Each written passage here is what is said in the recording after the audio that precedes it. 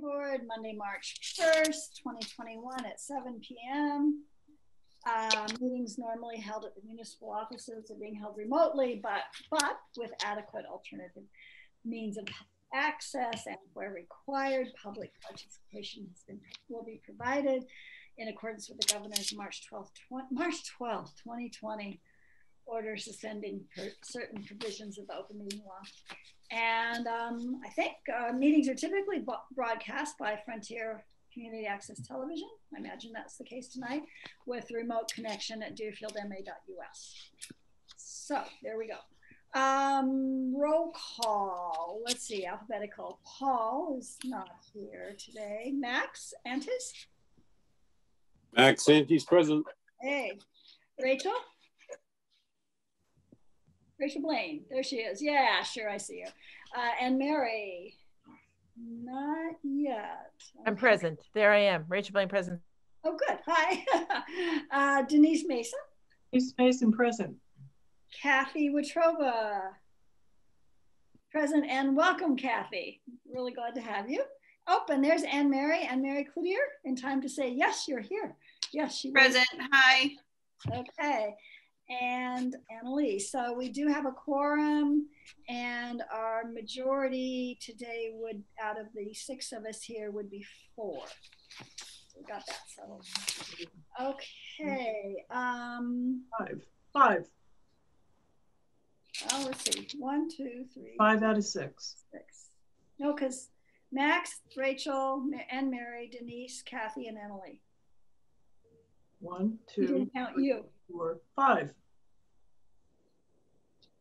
Max. Annalie, Denise, Kathy, Rachel, and Anne Mary, and Max. That makes five. And Kathy. That's I, Max, Rachel, Anne Mary, Denise, Kathy, and Annalie. Six. We're seven normally. It's six. No, six. Paul's absent. Carry the one. Great. Are you ready for this discussion tonight? it's gonna yeah, be- oh well. it's okay, Denise. You're keeping us up on our toes. Hey. Um, let's see. I guess we review the mail before we review the minutes. That's interesting. Um, we had three notices of public hearings, um, or four notices of public hearings three in Greenfield and one in Montague. The three in Greenfield have to do with a proposed curb cut, curb cut on Woodland Road, conversion of a two family home to a three family home on Conway Street, and to extend the general commercial zoning district along Bernardston Road. And that public hearing is on March 11th. In Montague, there's also going to be a public hearing on March 10th regarding a special permit for telecommunications facility in the rural business district. Maybe that means they'll get better internet. Um, I don't know that all of you are receiving this mail. Are you? And do you, if you're not, do you care to? Um, I think that it, I don't receive the mail. I don't think anybody else here does. Um, and I think typically, even when we met in person, we would, oh, go ahead, Rachel. No, that's right. Anne, Anne, Mary, Anne Mary's right. We don't usually get the the okay. mail. We review it at the meeting. Okay. All right. Well, the other piece of mail, which actually is interesting and and perhaps will require a little bit of, of um, comment, is a request for comment from Saxton, Saxton Signs. I think I did send that request to, out to all of you, although it really doesn't say too much. This is for the 9 Greenfield Road Red Roof property making changes to the existing sign that is currently 500 square feet, reducing it to 323, which sounds like, oh, okay, that's good. However, um, it is a previously pre-existing non-conforming sign. And in fact, the new sign also is not in compliance with our sign bylaws. I'd asked uh, Jen, potentially Bob Walden, to sort of review that since we didn't really have the specs. And the question really is what sort of comment might we want to pass on to the ZBA in relation to this? So Jen, do you have any specifics? I think in particular it has to do with the height of the sign, but. I think the height stays the same. It's the, Bob, did you want to make comment? Yeah, the, the pedestal that the sign on doesn't change. It's just the actual top of the sign is being reduced in size, which they're doing because they keep having problems with the sign being destroyed in weather. So, I mean, it just simply requires a change, a special permit to change it, even though it seems pretty simple to make it smaller. Well, what, um, how, how is it out of compliance with our sign bylaws? Oh, it, oh, it's very out of compliance. It's super high up in the air. I mean, but it, The height? I believe it's been there since 1979, if I'm correct. I mean, it, there wasn't even a bylaw. It, it's really, it's in non-compliance with our bylaws now. It's a pre-existing non-conforming sign, so. So they're I mean, the real determination comes from the zoning board, um, whether it's, you know, more detrimental than to, than the sign that was already there, which my, I mean, my opinion is. Which isn't wouldn't- there anymore and it's covered in tarps and it looks like it, it's awful, you know? I don't Well, know if that anybody. tarp, has- that tarp is the sign. It's just a canvas sign that tore. Okay, They could put it back exactly the same, but they want to reduce the size. That's why I send it to the zoning board. Right, Jen? yeah, so I mean, it, they're making it less detrimental. So, you know, it's, it's, and they can, like Bob just said, it's, if it's, if they do exactly what's there, they get to keep what's there. Mhm. So it just happens to be that our bylaw says that they have to go to the zoning board of appeals if they want to change that size. So they're making it smaller, which is better. Um, it's just, you know. Yeah, so section thirty-four twenty-one, or thirty-two forty-one, sorry, I got that number all wrong. 34, 32 41, and the bylaw says, for changes in existing signs and non-conforming signs, provided such changes are within the limits established pursuant to section thirty-two twenty, which is our size requirements, and that is not substantially more detrimental to the neighborhood, so. Um, I don't know how you guys want to comment on it, but I mean, Do you have any, uh, anybody have any thoughts about this? Yeah, I was gonna say, you know, if, if they do it the same size, and it's, then it's, I thought it was essentially grandfathered in, but if they are changing it substan, I mean, changing it in any way, I thought that they would have had to then comply with our current bylaws. No, okay. the, well, right. the zoning board can mm-hmm. decide whether it's substantially more detrimental to the neighborhood, the change. That, that, Well. you know, that's their decision. Right, okay.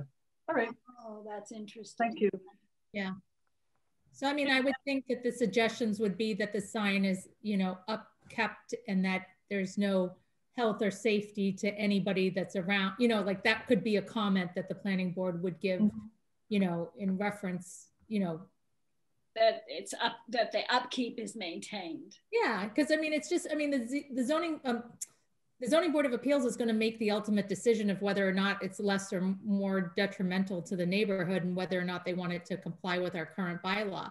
But if you were to make a comment, it would be that it's, you know, kept up and it's health, you know, it's not going to fall on anybody or, you know, it- I mean, there's not too much leeway because it really is up to the zoning board of appeals to make that ultimate decision.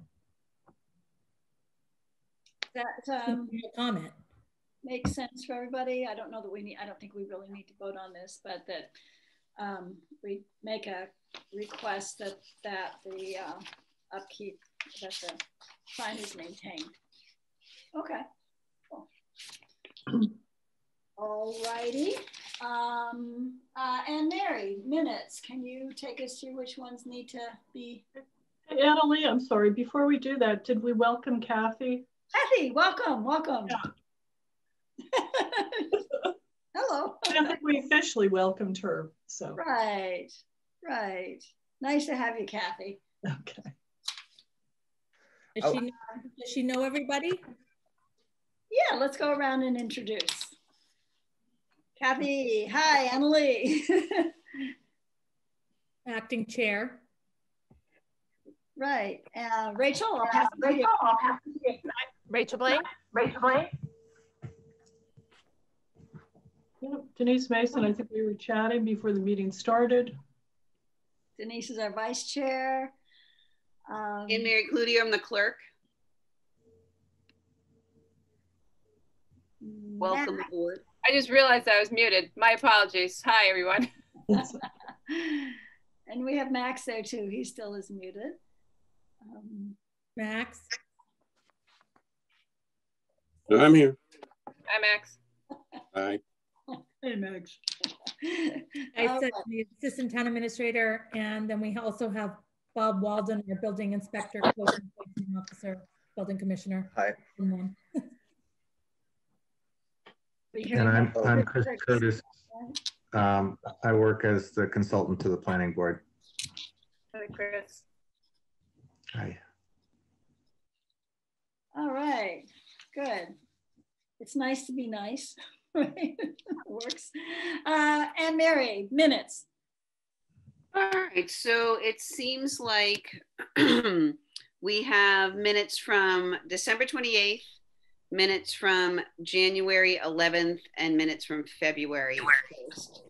So the 1228 minutes would probably be the first ones to look at. Um, do you guys all have them in front of you?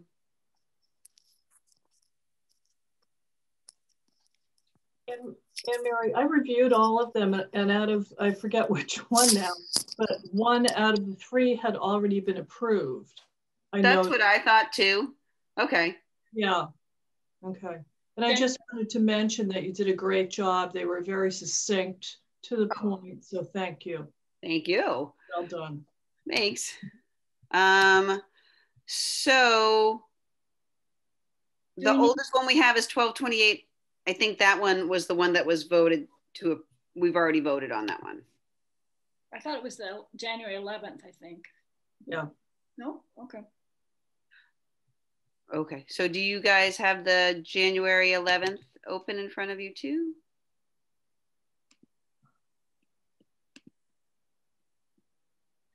Um, do we need to uh, um, approve each one individually or? I don't know, Annalee. I, I think that um, if any, eh, hopefully you guys have all had a chance to um, look at them. If there's anything, we should change it now, um, which is why I was just sort of saying one at a time. Um, and then we can vote to um, accept them all or both of them because we had already accepted one of them. Yeah, so we're, what are we discussing now, January 11th? Yeah, we had been. Okay. Um, maybe we just have a, a motion to approve? Yep. Do we have a motion to approve the minutes from January 11th? Denise Mason, I made, I make a motion to approve the minutes from January 11th as stated. Second, I'll second. Rachel Blaine, second. um, and any discussion? Okay, um, let's see, alphabetical. Max, Go ahead. Rachel,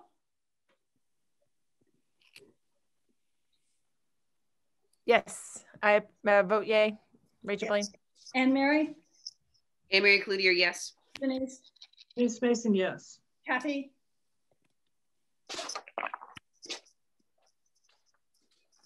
Kathy Kathy, would abstain. Kathy needs to abstain Would because she. abstain. Right. okay. And uh, Annalee will vote yes. Okay, and then uh, February, February 1st? Um, a motion to approve? I move that we approve the January, uh, February, what is it? February 2nd, February, whatever. Uh-huh. February First, sorry, yep. Minute meetings. And a second? I second that. Thanks. Uh, discussion, any discussion on those? I accidentally closed my doc. Who moved and who seconded? I moved, Denise Denise seconded. Mason seconded. There we go. And uh, no discussion, is that correct? No discussion? Okay. Um, we'll do alphabetical uh, first names. Anne Mary, Anne Mary Cloutier, yes.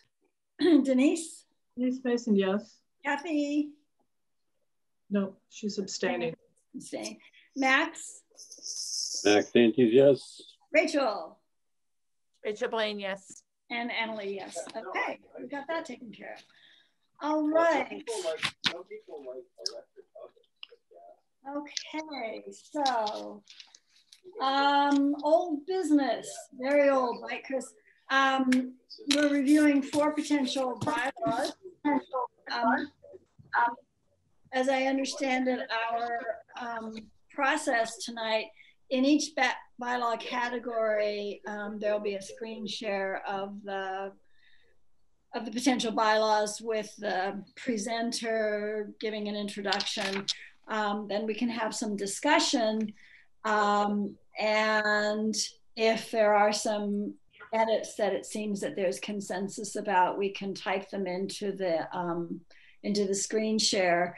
And um, at the end of that, vote on. Um, yeah, I'm sorry. Somebody needs to be muted and I'm not sure who it is because I can't tell. So I'm going to mute everybody that's not talking. Thank you, Jen.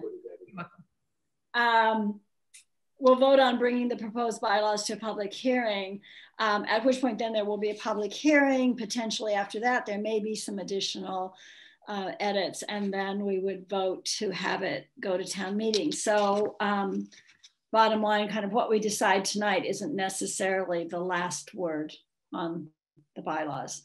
Chris, I got the process correct there? You can unmute- un- unmute- Yeah, that looks, that sounds great.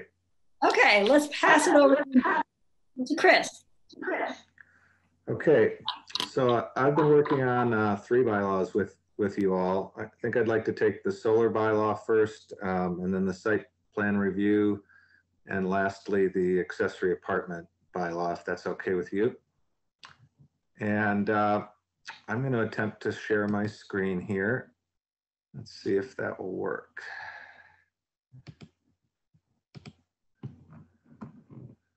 Can you see this? No, Not yet. Not yet. Okay.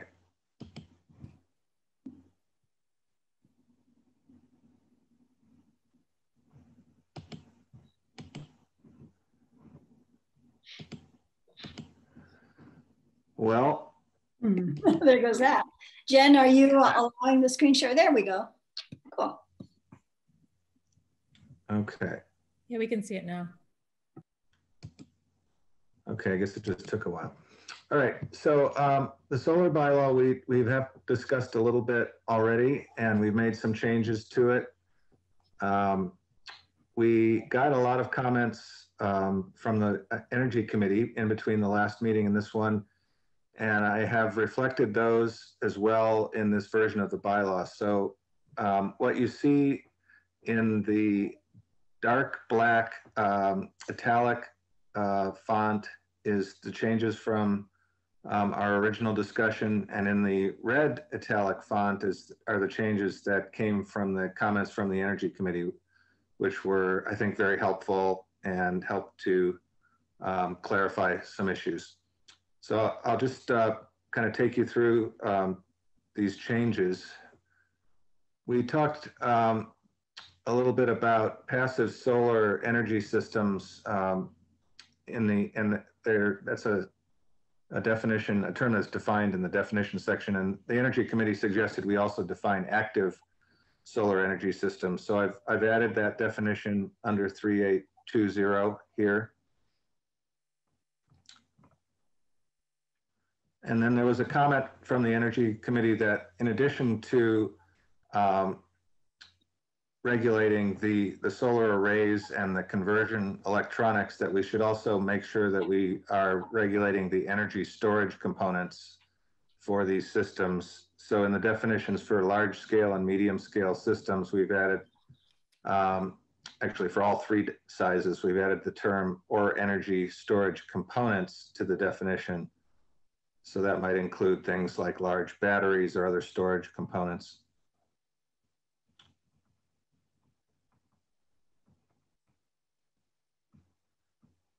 Uh, just want to make sure you, are you all seeing this as I scroll down?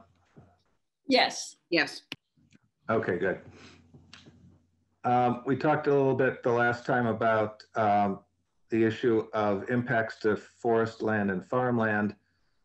the Energy Committee suggested that we use the term forest land and farmland in active production. And we want to try to minimize the impacts of these solar systems on, on that specific type of, of forest land and farmland. Please feel free to interrupt me if you have comments on any of these um, I'm not changes. seeing the red on this. Am I just not seeing the red? Is that the most recent version up there? Uh, in three, eight, three, seven, uh, site location of Chris, solar wait, energy. hold on a system. second. I'm not sure I'm, we're, we're not, I don't see what you're saying. And when I was scrolling through, I didn't have the right one. I've got to look. This one was from back too long ago. Yeah, I Let don't me think, Find the right one. I'm not seeing it. Okay. Uh, Huh. I don't think you have the red line version. Oh, oh, oh, oh, oh, okay, wait, wait, wait. You know what? It's, so he has it. No, Oh, the red one. here, here, here, here, here. Okay, I can do it now. I can do it now. Yeah, does everybody have it though? Did they, do we, this is what we've seen before. And now I'm feeling like, yes, two twenty-five is the edits, right? Correct.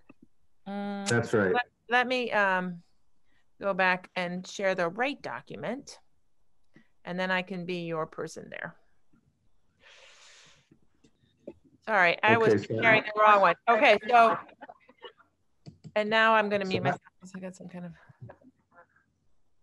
So just to be clear, I guess I, I'm not then sharing my document. Is that correct? That's correct. that's correct. I'm the one sharing with okay. Rachel. Oh, okay, Rachel, thank you. Um, so if you scroll down, um, what we're, what we're seeing So here there is we are, that, or energy storage components. That's what we were looking at before. I've seen that, but I couldn't figure out Yeah. what. And then uh, we're getting down here to the, it's the 30, where, where was the, where you had just left off with the forest land? 38, 37. keep, keep, keep 37. going down Yep. Until you hit, some- well, You already passed it. There. right there. So you see the red font there. Um, so we talked about having, um, we wanted to minimize the impacts of solar energy systems on um, farmland and forest land, and, and the Energy Committee suggested using the term inactive production to, to help sort of define which types of forest land and farmland we were really concerned about.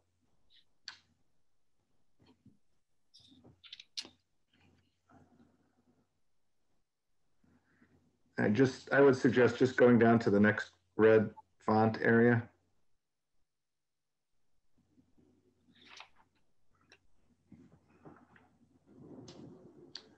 Um, so this one, they wanted, the Energy Committee's comment was that um, they wanted to make sure that the issue of insurance covered not just the um, loss or failure of the system, but also any um, losses that happen during construction. So we added that, that term construction here. Let me also clarify, I spoke with two people on the Energy Committee. It wasn't necessarily the whole committee that made these recommendations. Right, good point. Okay, if you keep scrolling. Um,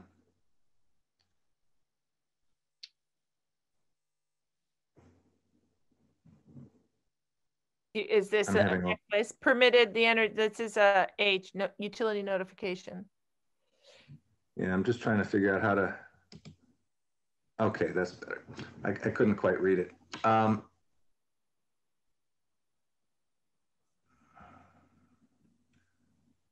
so that the change here was that we, they wanted us to, um, well, Sorry. Flute.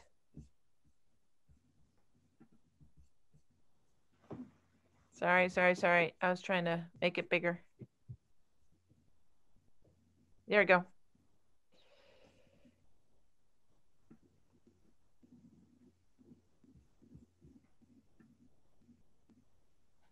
all Almost. right, I'm not, I'm not seeing it yet.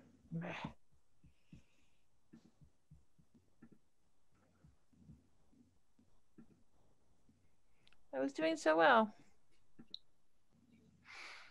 There we go. Okay. Um, so this was, um, in terms of notifying the utility, what they wanted us to notify the utility, um, was that, uh, that the, the, um, that, that there has been notification that the, the utility company has permitted the energy system, not just, um, I, I can't remember what the original language was there, to be honest, but that, that was the, the key point was that the permit had been given by the utility company. Um,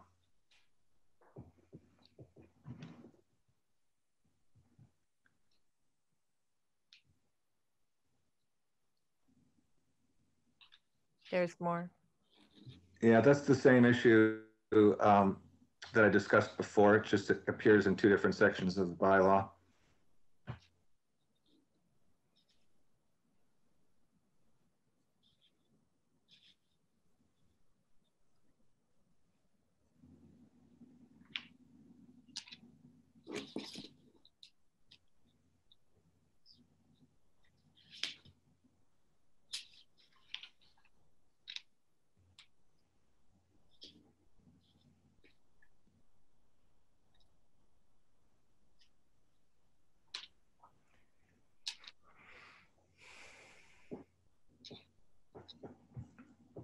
Hey, Chris, Yeah, this is Denise.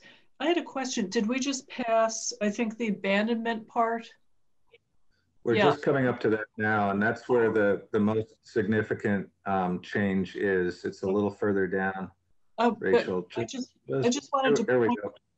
I'm sorry, before you go down, I just wanted to point out, if you go back up to the top to the abandonment, the beginning, that's the only place you've got, at the end of this sentence, you've got site plan review authority, but every, but every other place you put planning board. So I wasn't sure whether you needed to change Uh, that.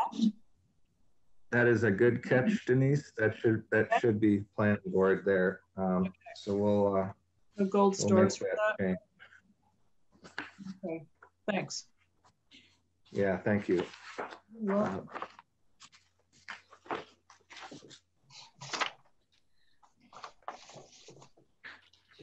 Um, so this, I'm just trying to make a note here, so I, I don't lose that Um, change. Chris, I did have one other question on that, the abandonment Okay. part. Um, and I'm not sure, you know, whether I misunderstood, whether I just didn't understand the whole thing. Um, I looked at enforcement and I thought, well, how will we know? I mean, do they have to then get in touch with us every year? We're just going to find out if they've abandoned it for a year. How would we know that? Um,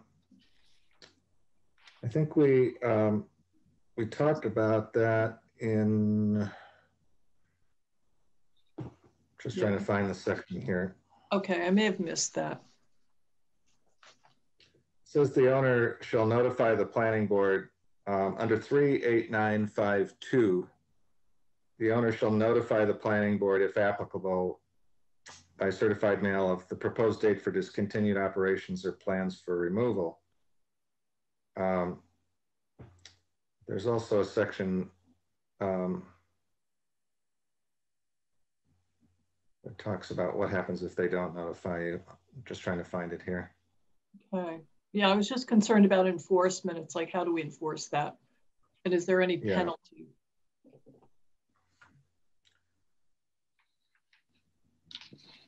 So under three eight nine five three, um, the decommissioning section, if we can just scroll down a little bit to that. The language there um, says that if the um, if the owner fails to remove the installation in accordance with these regulations within 150 days of discontinued operations or abandonment, the town may enter the property and physically remove the installation at the owner's expense, drawing from the escrow account or upon the bond or other financial surety provided by the applicant. So that, I think, is the section that addresses Okay. your concern. And then just below that, we've added some further details about the issue of financial surety, which are in the red font here.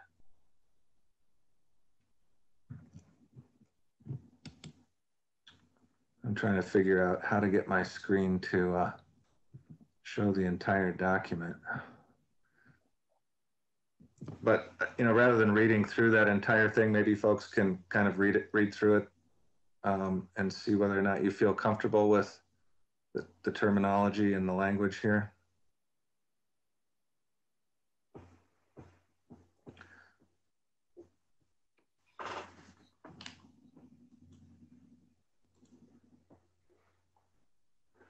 There's a process for estimating the costs um, of uh, removal and um, uh, a specification of how much of a deposit needs to be put down and that, that it's held by the town treasurer.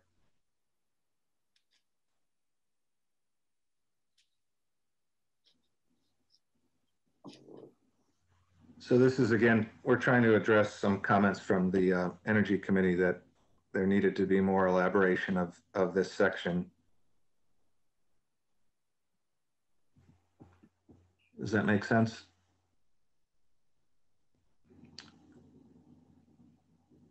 Rachel, are you, um, are you commenting? No, Oh, I thought I, I thought I saw your lips moving and I wasn't sure if you knew you were muted. I am, oh, here we go. Sorry. We, when we had, did Lakeside, was it called Lakeside? Anyway, the, the firm from Chicago that developed the, the, um, um, quarry, that large scale quarry, um, development that we had, this is very familiar. So that, and that's, I think worked out, I don't know if Bob's still on, but that's worked out pretty well. We had an escrow account. So this is good. I mean, I- what I'm saying is this kind of mirrors what we did with that very, that large. Um, Yeah, I'd say that a quarry is a very kind of similar situation that you want to be able to recover the landscape after the use has completed its, you know, useful life.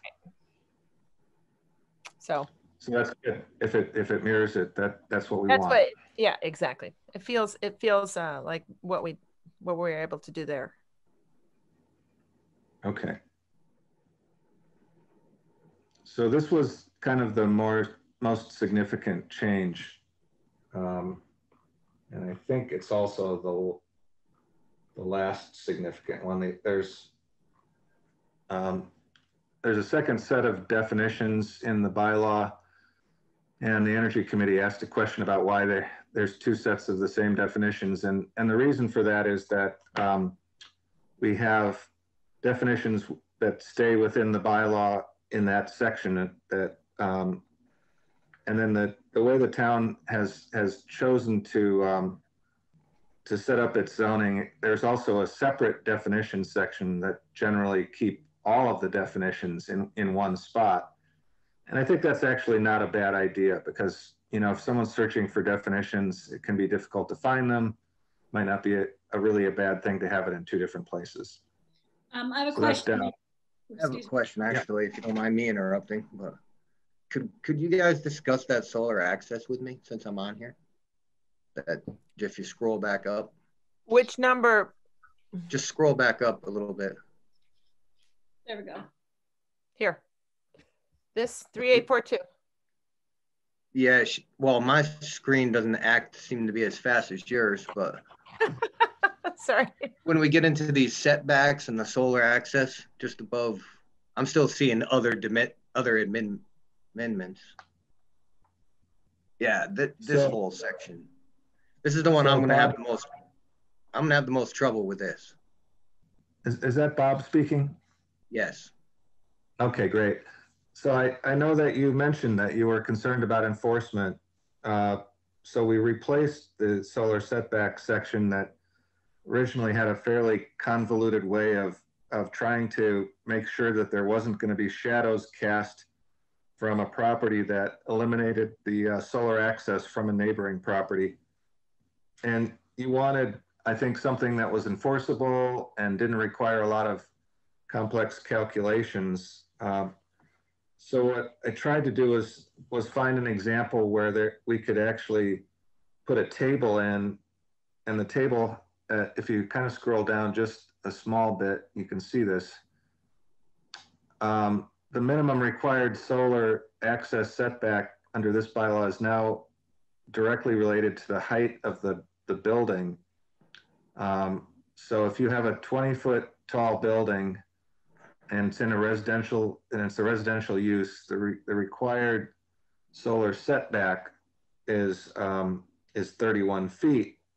If it's a, if it's a commercial use in the commercial um, area, it's nine feet.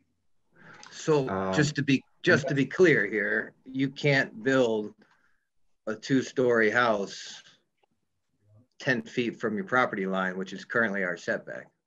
Because it may That's right. cast, On So the, could- on the um, northernmost edge of that property. So it would only really affect the, the northern property line, which you can kind of see in, uh, uh, on the letter C just above the table. It says, the table illustrates the minimum required solar setback from the northern property line for structures based on their height to meet the shadow requirements. So we're trying to, trying to prevent the situation where you've got two houses that, you know, both want to have solar panels and, and one is casting a shadow on the neighboring property's solar panels so they don't function any longer. Um, we want to, you know, try to prevent that from happening. Um, and it's, it's really for new development that this comes into play. Um, I'm, I'm just thinking if you got a, say a hundred foot wide lot, how do you place a house on it with a 50 foot setback? Um, so you're thinking about, yeah, the, the 28 foot tall building with a 49 foot setback. I mean, it's not hard to hit 30 foot with like a two foot, with a two story colonial. I mean, a you know, a normal house. Right. Um, so I guess we'd, we'd almost have to play out some examples of this. Um, but again, because we're not talking about all four property lines, the, the idea behind this would be that you would shift the location of the home to the section of the property where you, you would not be casting that same kind of a shadow. Um, Yeah, I'm just going with the worst case scenario where the whole entire lot becomes unbuildable because you can't fit the house. Right. What do we do Um, in that so- situation? If, if you shift, um, Rachel, if you could scroll down to D below the table. That's where we address that issue, Bob. And it says here that the provisions of this section shall not cause any building, any buildable building lot to be rendered unbuildable. However, the Okay. provisions in the section shall mean that the site of a structure on a lot and the design and the height of the structure shall be modified to the extent feasible to prevent the loss of solar access on an adjacent property. Okay, I get that, but so you're, I don't know, it's just really difficult. So you like, if we modify it to an extent feasible, I mean, that might mean what, they can't build a two-story house, they can only build a one-story house? Well, I, I see your point, and maybe we need to be more specific in that particular section of the I bylaw. just, I mean, I'm not trying to impose my will on, I'm just having a hard time with how I'm going to uh, tell somebody that they can't build a two-story house on their legal building lot in our, what, in our ten-foot setback requirements, say the property line is to the north is a ten-foot according to our bylaws, and now we have a new setback, like how, who's gonna win that argument? Um, or how, would you know? Uh, Max Ma- Anthony, his hand raised. Chris, where, where's, where's the setback coming from? Who's, who's concerned? Because we're gonna have to change our zoning setbacks for the potential of a solar installation that may or may not happen. Well, I think this is really oriented towards. Is, um, this, whose concern is this? Who brought this up? Is this something in the state regs or is this just something you feel is important? It, it's something that is in um, the state's um, model Where? zoning regulations. And it is a, it's, it is a complicated um, issue. Can you still hear me? Yes. Okay, my screen just went blank for some reason. Um, so, so I guess we- we're trying to address the situation where, um, you know, there's a residential property that wants to have solar panels and their, and their, ent- and their entire home is being shaded by the adjacent, a, a- new, a new building that comes in that, that really eliminates their, their access to the sun for some maybe very expensive solar panels that they just put on their on their roof. That's that's the issue, I guess, that we're we're trying to address here. We want to try to maintain access to the sun for for all properties. And we, I'm trying to do it in a way that's the least onerous and most readily enforceable way possible. Does that make sense? It's, it's like, it's, it's, a it's a big stick for a small problem, I think. Bob, what would you suggest to sort of address I- the concern, but do it in a, in a reasonable way? I think there has to be a a way out. Like this is a great idea, but it just seems really restrictive. Like how do you not how do you do that? I mean, how do you tell somebody that they can't build a new barn because it's going to put a shadow on their neighbor's property when they have every right to build a barn? I just don't I mean, I don't, like I said, I don't want to impose my will. This is my town. I'm not a member of Deerfield and my job's in enforce it, but really difficult for me to try to wrap my head around how I tell people this. And I, and I, and like, um, you know, this may never come up, but if it does, it'd be a real issue. And I, also, I know you said the northern border, but I mean, I got to thinking about that. That's also the orientation of the house. If the house is running parallel to the border, it's going to cast a shadow different than if it's running at an angle to the border. Um, it's so complicated. I have a It- it is question. So can I just talk this back out loud for a moment? So somebody owns a house and they put solar on top. Somebody buys the lot next door and says, well, I want to put solar on top of my house, but I want to put it where they have their shadow. So we're, before we have that problem, saying, hey, don't build a house where the shadow is. I mean, essentially, isn't that what we're saying? No, what we're saying is that the person next door has solar panels on their house and, and then somebody buys a lot next door and they can't build a house because it's gonna cast a shadow on that house. Or you couldn't build an outbuilding such as a barn or a garage or that might cast a shadow on those solar panels. That's the way I'm interpreting. Gotcha. Okay, now I understand. Thank you. Well, you know, I, I, I hear your concern, Bob, and it makes good sense to me. Um, I think maybe we need some language that is, um, oftentimes in zoning, you use language like to the extent feasible. Um, they shall, you know, minimize the, uh, the impacts of shadows on neighboring solar panels and properties. Yeah, and I Uh, think if it wasn't possible to do that, then they need a way out, I think. I mean, Right. So I mean, I guess think what it's- I'm hearing, we need to maybe rethink this section a little bit and, um, and maybe make it less restrictive. Um,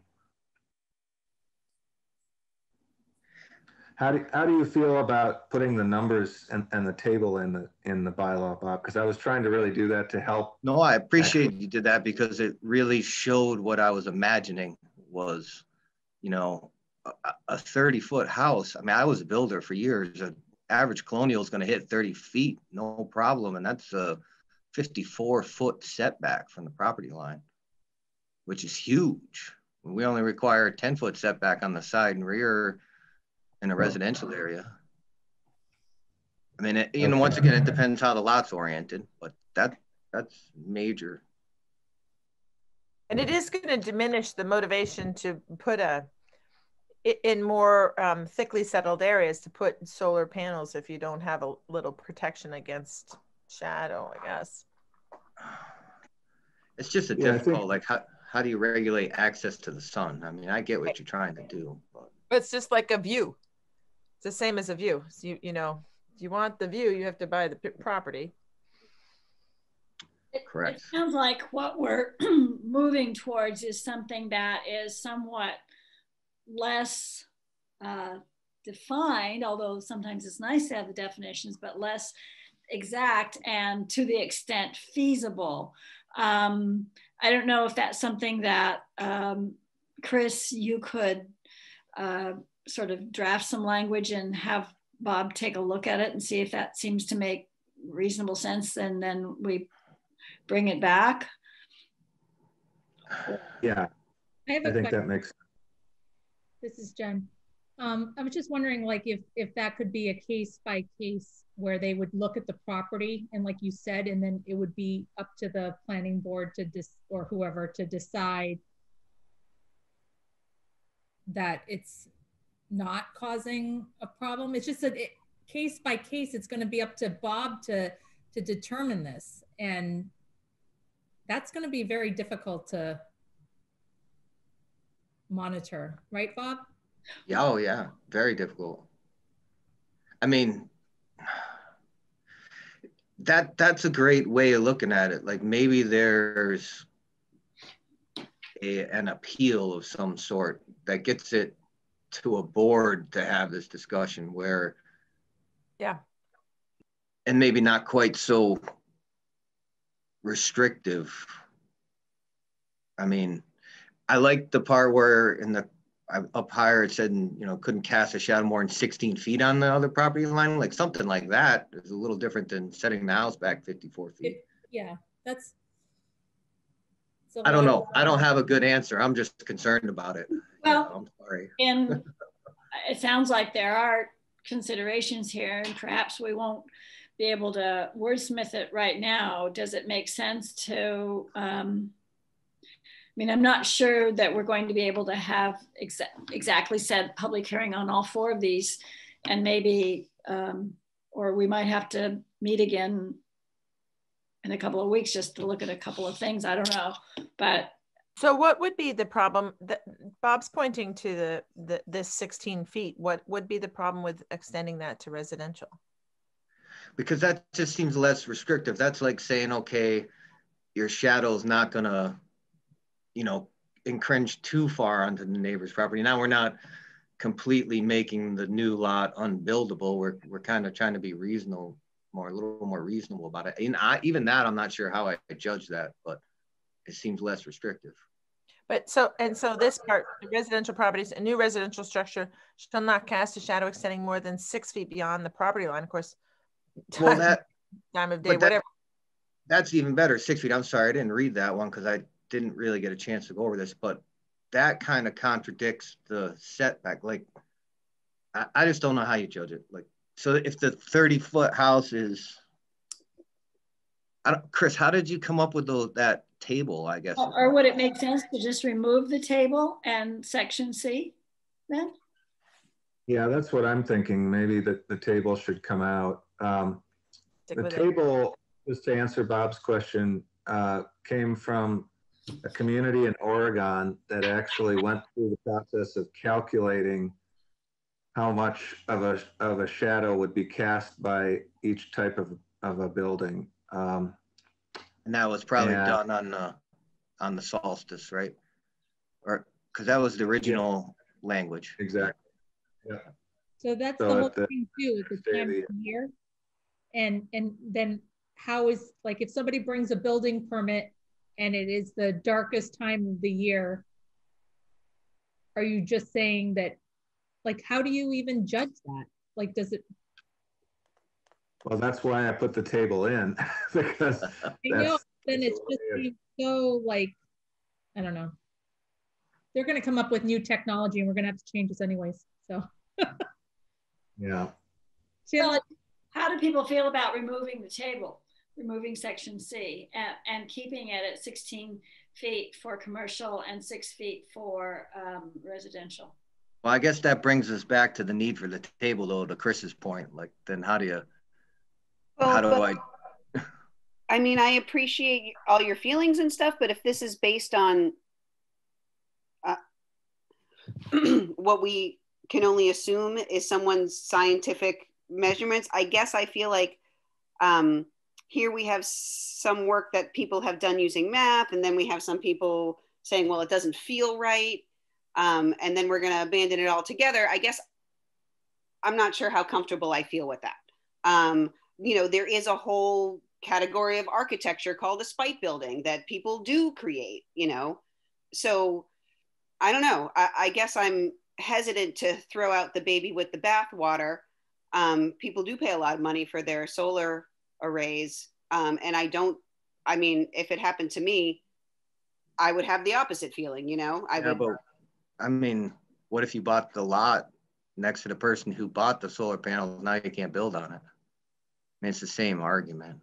I mean, I don't. I'm gonna get out, I'm gonna stop because I'm, I'm just having trouble with enforcing, um, that's all. I don't wanna, have trouble with enforcing anything, don't we? I mean, I don't. I don't know. I mean, I was, he's the code what- enforcement officer, so he's the one that has to either issue a building permit or not issue a building permit. So, I mean, what he says and how he's gonna enforce it actually has a huge play in this. So- I, I I understand that, but my my I mean, isn't it like if you've already purchased something, like for to have the second person come along and be like, well, I want to be able to build whatever I want, despite the fact that you have solar panels, doesn't strike me as the right thing to do either. You know, so well, I don't, I don't think it's build whatever you want. It's building whatever is legal. No, I understand that. I'm not saying whatever you want, but I'm saying that having no consideration for your neighbor's, you know, equipment maybe isn't the thing that we want to encourage either. All right, I'm not trying to argue with it. I'm just, Oh, I'm Yeah. not either. I'm just trying to understand it. Like, what's the best way to go about this? We have something that has been um, collect data that's been collected, uh, and I'm just saying that you know, just to throw that out. I don't know. I think that there's some value to it. there may be some value, but you also have to think like anti-development, anti-community, anti-neighborhood, you know. So, you know, looking at all of that and seeing how um, the town is going to enforce it and do building permits, invite people, because people are going to be like, well, we have to look at all of these different areas in order, you know, we have to look at the Conservation Commission. We have to now look at the zoning bylaw. We have to look at um, the solar bylaw now. Well, then I think that you know maybe going back to what um, was being said before about um, coming and talking to us, because I think Max is right. Like this may be like you know never or once or not that big a deal, and I feel like for you know how often we might encounter this, maybe it's just easier. We probably it'll be a review. different places by now. I mean, I'd have to review this on every single building application for every garage building that comes across my desk. every single one, if this is in there. Because there would there's be, a solar array next door. No, this says solar access. There's, they could potentially put the solar array on later. I mean, then what? Then, you know, then they can't build a garage or a barn or something. I don't know. I mean, I'm just, it just opens up a can of worms when we're, I mean, the number of permits and the type of permits that Bob sees, commercial and residential and, you know, agricultural, it's just, it makes it a diff- difficult thing to um, manage. So we have a couple hands up. Um, Annalee, do you want to hear from? uh, Tim? Um, hi, Tim Hilchey. I'm the chair of the Conservation Commission. Um, not that that has anything to do with solar panels, but uh, sometimes it does. Um, several things. One is when you get a solar installation, solar people come and they use a tool that says, um, in a 12 month period, this is the range of energy you're going to get, and this is where the sun's going to be, and this is how much insolation is going to fall onto these solar panels. So this is very variable with the seasons. The other thing I want to point out is if you have two colonials of the same size and they have a roof mounted solar panel on one of them, what you're really worried about is when the sun is low, is it going to cast a shadow on your solar panels low in the sky? In the middle of the summer, it's going to have an entirely different profile. So I think there is a possibility that people are overestimating and um, you know there should be some way to accommodate somebody who's put solar panels on their house when there's an empty lot next door. Uh, this happens in cities, it happens in towns. And if you adopt this bylaw, then it's the law. And then you have to deal with it. It's just like when the electrical code changes. You know, you have to put in these uh, fault resistant circuit breakers in your panel when for many, many years you never had to. And I've heard builders tell me that this has add, adds five or $10,000 to the cost of building a house but it's now the law, so you need to enforce it as the building inspector. So I do think that there's a way to make this work, and maybe you just need to spend a little more time and maybe bring a solar installer in to talk to people. So you can. You had a great point about two houses the same height. So say you got two colonials the same height with roof mounts. Now their shadow is now moved up 30 feet in the air.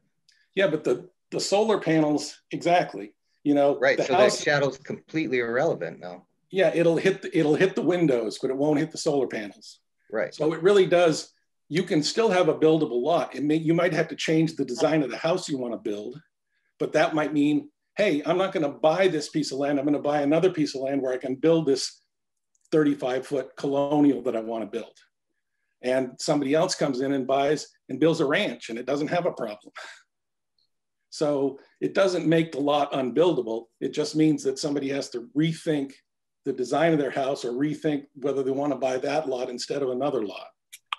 I'd like to hear Nick next, and then maybe if we could take a step back and decide how we're going to continue with this, because I think it's a valuable discussion, but we have three other sets of bylaws and we just need to figure out how we're going forward. Thanks, Tim.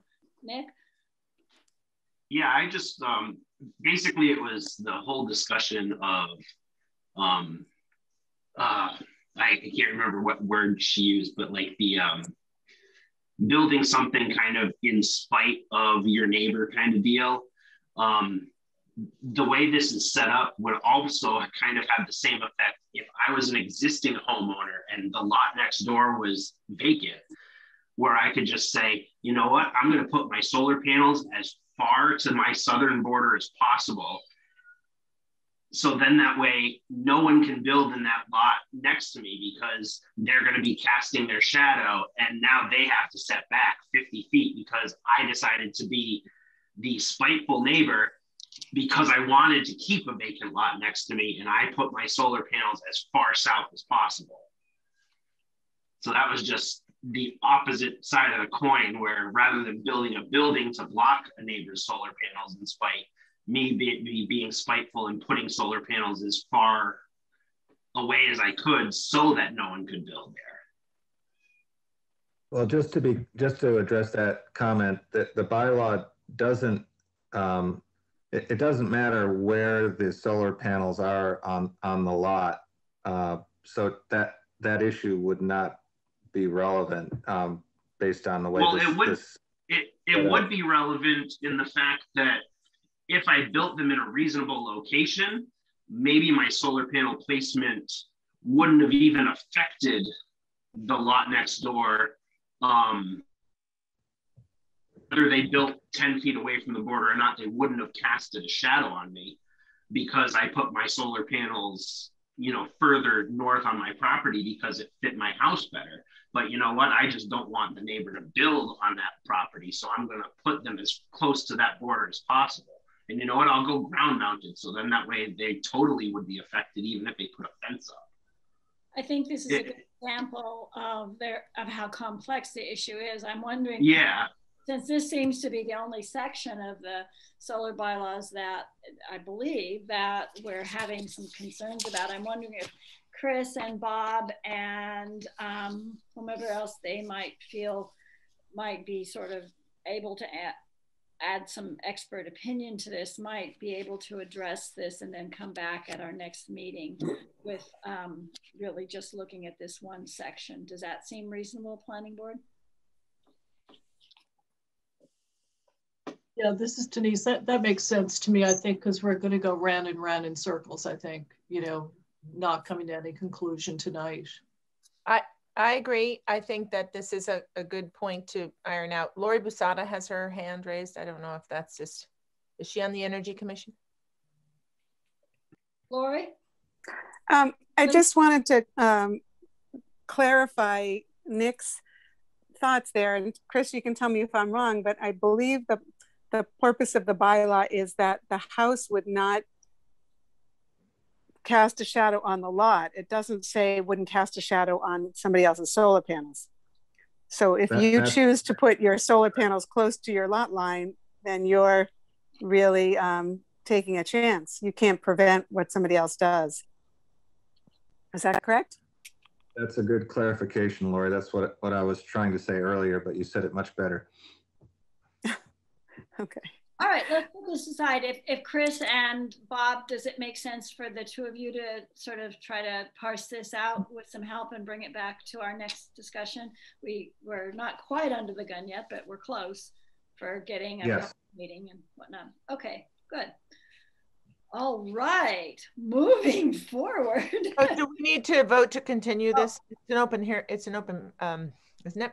No, it's not a public hearing yet. This was just our discussion. We haven't voted to bring it to public hearing. That has to happen. Right. Right. Okay, thank you. Um, it's now eight o'clock. We kind of uh, might turn into pumpkins in an hour, so let's see what we can do um, with uh, Chris. Your choice is site plan review next. Yes. Um, Rachel, would you be able to share that Mhm. bylaw on, on your screen? The site plan um, review amendments are um, suggested amendments to the existing site plan review standards that add a section um, that's called Green Development Performance Standards to the, the site plan review. And the planning board spent an extensive amount of time going through these about a year ago. And I realized that many of you were not um, around for that discussion. So I think um, this is a bylaw that um, I'm gonna probably need to ask what questions folks have about it based on your reading of it, but I'll try to do a kind of a, a- an over overview of, of uh, what it does. So the idea of, of the Green Development Performance Standards is to try to limit um, the, the impacts of development to sites that might um, result in the, um, in the removal of, for example, all the trees on a piece of property or the, um, the, the grading of a property to eliminate all of the, you know, the existing contours in, in the land, um, or um, might have significant impacts on stormwater or um, similar types of things. So we're trying to um, trying to establish some standards that are kind of common sense standards to um, to limit site disturbance, to um, preserve some of the the most important trees on property. Um, there's also a, a mention of solar access here, but it's it's more in, in in the form of the orientation of buildings to try to promote passive solar access. There's some standards for landscaping and water reduction. Do I um, have the right- Do I have the right one, just so you know, Chris, can you see it? It's the one Uh, updated one, yeah, January 21st. Okay, thank you, sorry. That's correct. There are standards for um, protection and buffering of agricultural land. uh, Some standards for parking and trip reduction, for pedestrian and bicycle access, for storage of hazardous materials, uh, for light pollution reduction, collection of and storage of recyclables, and construction waste management. So there's a lot of detail in this bylaw. I'm hoping that folks have had a chance to kind of read through it. And um, and think about it.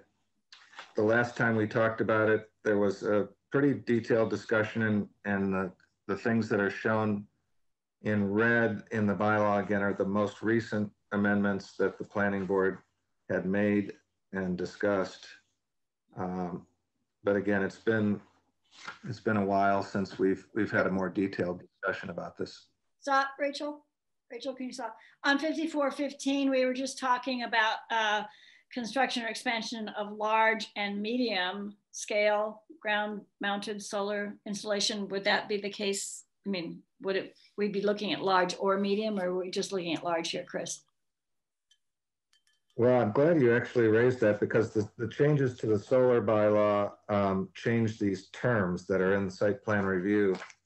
And uh, so we want to make sure we, we correct that. Um, but we would be talking about the large and the medium scale under site plan review. Okay, great. Um, under definitions, does anyone have any questions with those?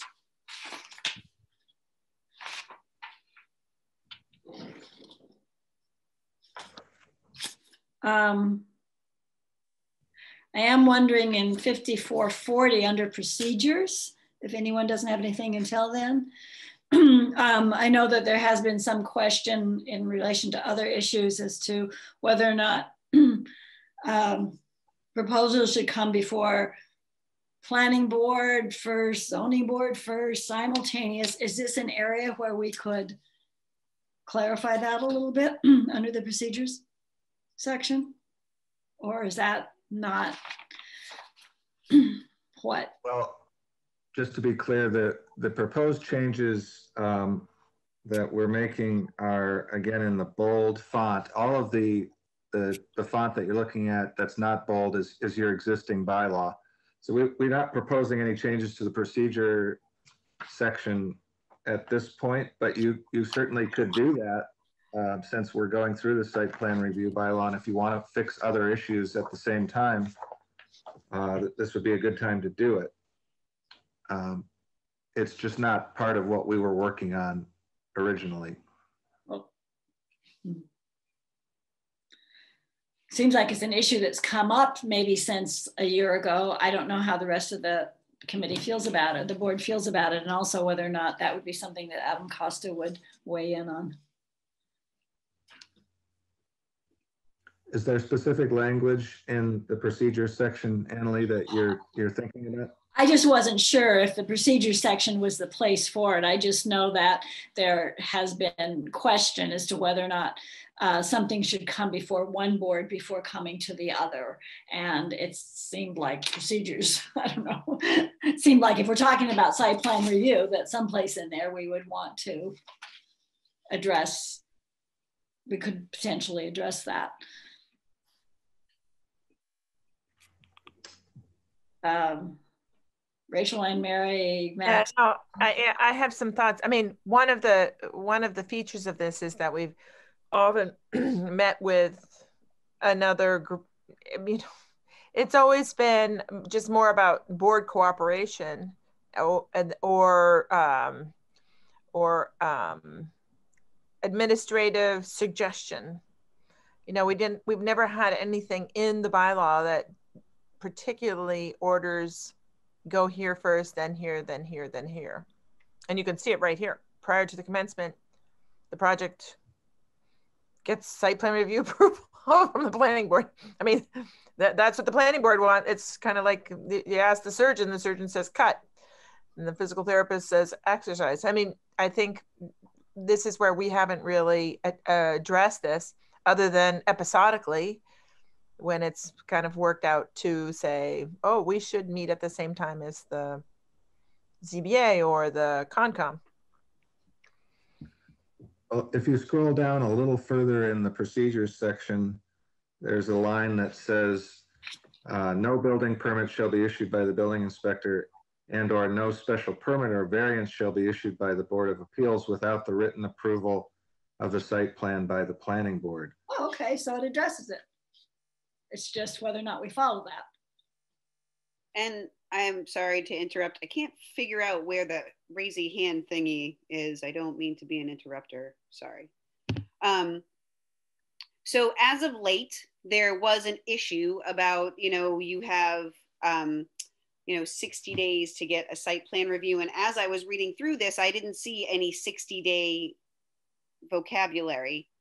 Um, but that might have been in a draft before I came along.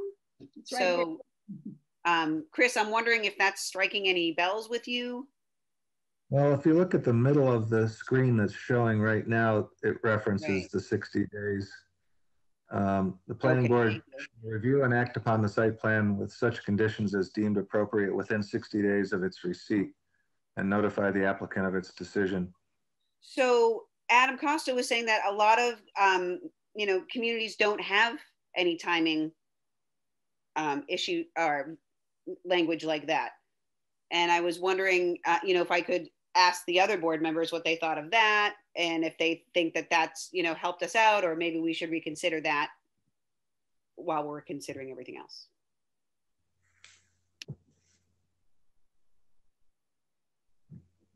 Because I would say get rid of it. If other communities don't have it, um, and we can eliminate one more little hurdle for ourselves, you know, bureaucratically, um, I think that we should get rid of that. That's long and short of what I'm saying. Max has his hand raised. Max? Um, I, I raised my hand back when we were talking about uh, procedural, you know, which board you went in front of. And the thing was that we ran into the situation where somebody brings a building that doesn't comply with the zoning uh, and needs a ZBA approval, um, but they want us to approve a site plan based on a non-conforming building, which, you know, I have trouble with doing. And then you know the size of the you know the stormwater impacts and things like that so I, it'd be good to have someone get their uh, their variance prior to you know getting a site plan. Is you know a site plan issued. So actually what you're saying, Max, is that potentially the ZBA should go before the planning board. yes. Because to me you know if a, a building doesn't comply then how can you approve it? You know and if they're not going to get an approval you're just encouraging them to you know come up with something that doesn't comply because they know that they can say to the ZBA, well, the planning board approved this. So what, you know, you're, you're kind of, kind of like the, the, the going back and forth between two authority figures, you know, well, they said this is okay, you know, and Well, Um, Max, I think, I think you raise a, a good point, and you're raising kind of a bigger issue here. Um, my, my response to, to that, the overall issue is that the special permit um, and the site plan re- review uh, procedure should be combined and should, should be handled by the planning board rather than the ZBA. Um, I think that makes it a much cleaner process. Um, and it, it eliminates some of that some of that conflict at least. But that's, you know, that's a bigger, that's a much bigger fish than we're frying right now, I guess. Um, and it may be a discussion that the board needs to have with the ZBA. But oftentimes it's it's a special permit with site plan review process that communities have established and the planning board issues both of those in a simultaneous kind of way. Hmm. Uh, Tim and Tolly, if you're addressing this particular issue. Tim?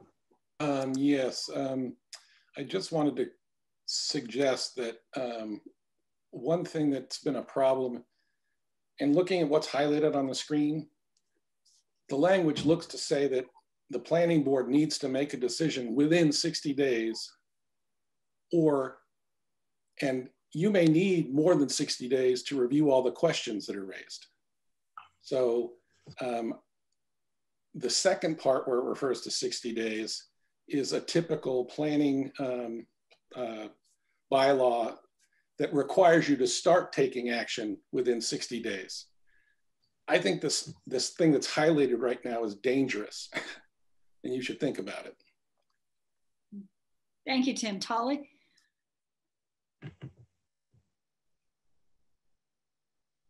Hi, Tolly Stark, Keets Road. Um, I just wanted to bring to your attention um, section 5421 of our zoning bylaw that does state about having a site plan before applying for a specific zoning relief such as variance or special permit.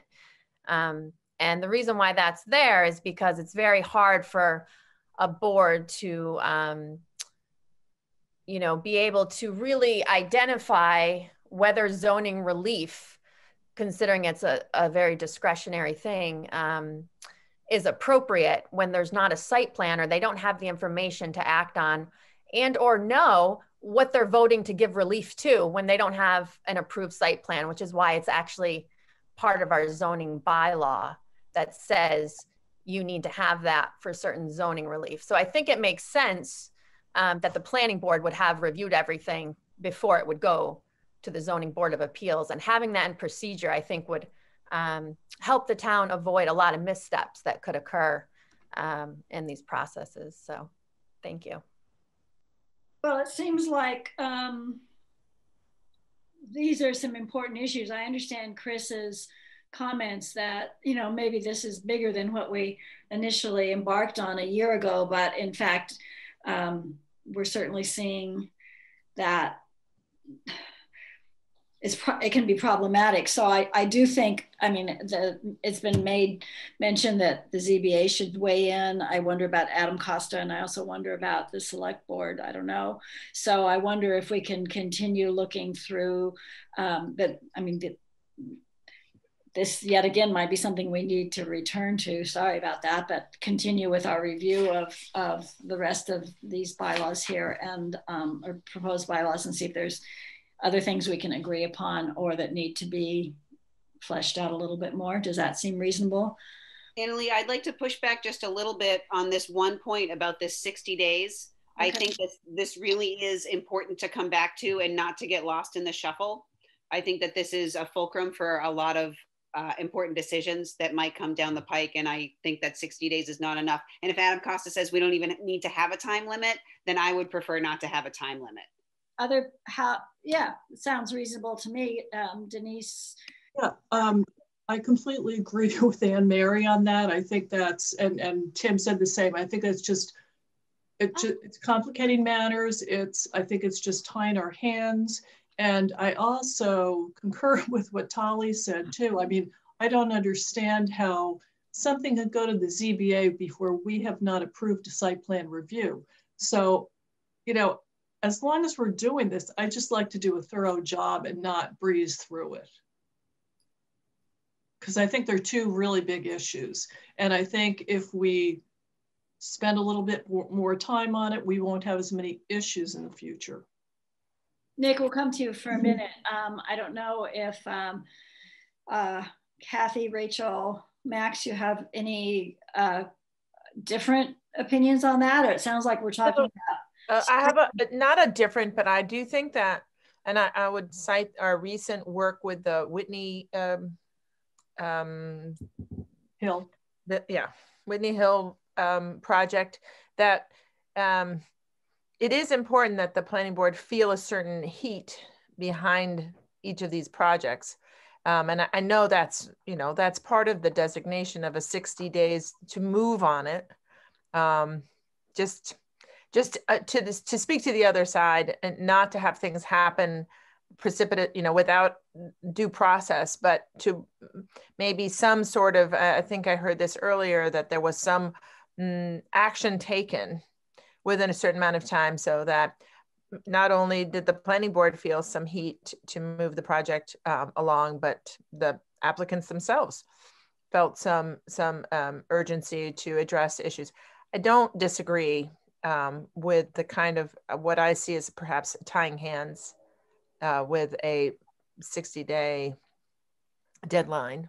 Mm. Um, and we've we've worked within that before um, without we have great administrative staff right now but when we had uh, you know a dearth of administrative staff we were sometimes really scrambling um, to address things that came to us and hadn't been brought forward so that's i'm kind of speaking out of both sides of my mouth but i do think that just attending to somehow the the mm, moving, keeping things moving. That's all. Well, but create language that keeps it moving, but doesn't create a loophole at the same time, right? That's the Force our hand in any Yeah. kind of direction. yeah Could be 90 days. Nick, Yeah, so I just wanted to kind of tie into the 60 day thing. Like maybe it just needs to be clearer that as long as you guys see the issue, if it's continued, you have until the end of time. Like just a clarification that, like in in the DG case, they asked you guys to continue until a, a specific time. So that would automatically extend your 60 days. But I also like, I believe it was Chris that mentioned it. Um, how about we just re uh, reassign the um, these um, oh gosh variances and stuff back to you guys rather than the zoning board since they really should have a site plan from you and you can't approve a site plan if they don't have these variances that allow their site plan to be legal. So you guys should have the full authority on whether their site plan is good and if it needs variances that you guys are making that decision you guys are an elected board and you would have the town's best interests at heart because you're put into your positions by a vote of the town rather than appointed by a couple people so that was all i had to say oh boy, all right, Tim. Um, Thank you, Nick. Yes, just one final thing. Um, I believe that the language in this section addresses, and, and I just want to reiterate, I wasn't suggesting that you shouldn't have some time by when you need to start acting. I was, because uh, the second part of the 60, 60 day period is if the planning board does nothing for 60 days, then it's a tacit approval. So it puts pressure on the planning board to get off and do something. But if you only give them 60 days in which to do something, what happens? Um, if they wait 30 days, does that mean they only have 30 days left to act? So the blue stuff really is dangerous and it needs to probably go out of this. Whereas the, the other part that's the other 60 day reference here, two sentences down, just says you need to start acting within two months of getting an application. And that seems entirely um, enough pressure. The, the Conservation Commission has 21 days to act on stuff, which is entirely not enough. It's insufficient um, because uh, we meet once a month. So if somebody puts something in on the first and we meet on the 25th, tacit approval. So that's just one thing I wanted to make sure everybody was. Clear. Could That is planning board, how do you want to proceed with this? I mean, there certainly are some very meaty things that we're talking about here. Um, with potential ZBA impact, legal impact, um, and also uh, wanting to be comprehensive and do a good job as we're addressing these now. How do you want to proceed? I mean, I don't know that I'm always pushing for independence from the ZBA.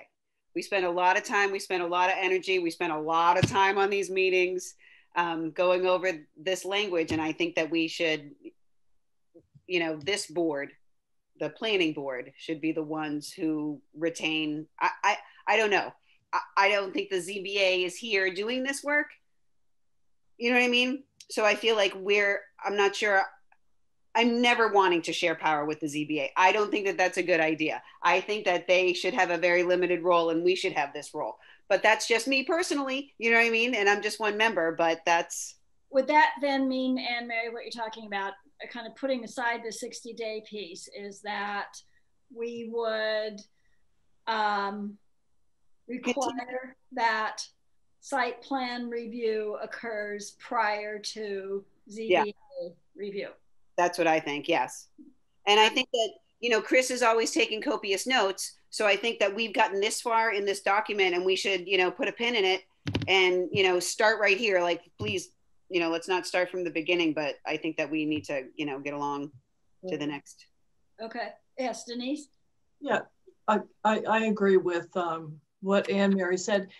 And oh God, what was I going to say? You know, when um, Rachel brought up Whitney Hill, you know, that that was a little that was a little tricky because we didn't have all the documents. I mean, I think at first we saw some handwritten plan and we didn't have all the documents and that is going to sort of segue into what, if we are able to get into the new business tonight, talking about when documents should be received, who should re review them, how many, you know, how far ahead before our meeting. And I think if we clarify some of that, we'll take care of some of these issues. Um, but I think I think we this still needs a little more work, and I don't feel comfortable approving anything tonight. I'd look to look Chris, at. do you think you have? I mean, um, it sounds like you know, uh, potentially we're talking about as. Tell me if I'm wrong on this as I synopsize, folks. That we're talking about uh, site plan review should occur prior to uh, special permitting by the ZBA and that uh, potentially uh, we may not, we need to act on it within a certain period of time upon receipt of a, of a complete application. We're not so sure about 60 days. I mean, I don't know. Does that, does that sound like the direction we're going forward? Yeah, I think so. Okay. All right. Chris, you got that kind of? Yeah. Um, I, I think I'd like to get um, Adam Costa's opinion about the 60 day issue because there is a requirement in the Zoning Act that you have to act within a certain amount of time. Um, and I'd like to get his his views on that and and maybe bring this back to you um, after we hear from him. Excellent. Good. I'll go back up a little bit um, just before uh, Board of Selectmen needs to be the select board. Big deal right there. Um, yeah, I want to just uh, again reiterate that all the language we're looking at here is in your existing bylaw. This is not the section that we're going to be discussing tonight in terms of what we were proposing to change. Um, and that was um, later in the bylaw. I'm, I'm hoping that um, if we're going to move on from this tonight, that uh, maybe the board would consider reviewing the, the changed section of the bylaw and, and sending me your comments or thoughts perhaps by email because um, we've had a lot of uh, a lot of times this has come up on the agenda and we haven't really gotten to the, the meat of the bylaw, unfortunately. And I know we're, we're running short on time. You're talking about us reviewing the red lines? The, the section that is in the dark Red italic and the dark. in the red and the red font are the sections that we were really going to be discussing tonight. And we kind of got sidetracked um, looking at this whole um, procedural section, which is, is not really what we were going to be talking about originally. Hmm. So Rachel, if you were to, to scroll down, um, Which number? I'm at 5522. fortunately my screen is frozen, so I can't see where you are. I'm at 5522. Well, basically what um, Chris is requesting, I thought, though, is that we look at the bold and the red line. Yeah, And section then- 5520, 5520 is titled Green Development Performance Standards. That, that is the section that, that was on the, you know, really on the agenda for discussion tonight. Um, Oh, Chris.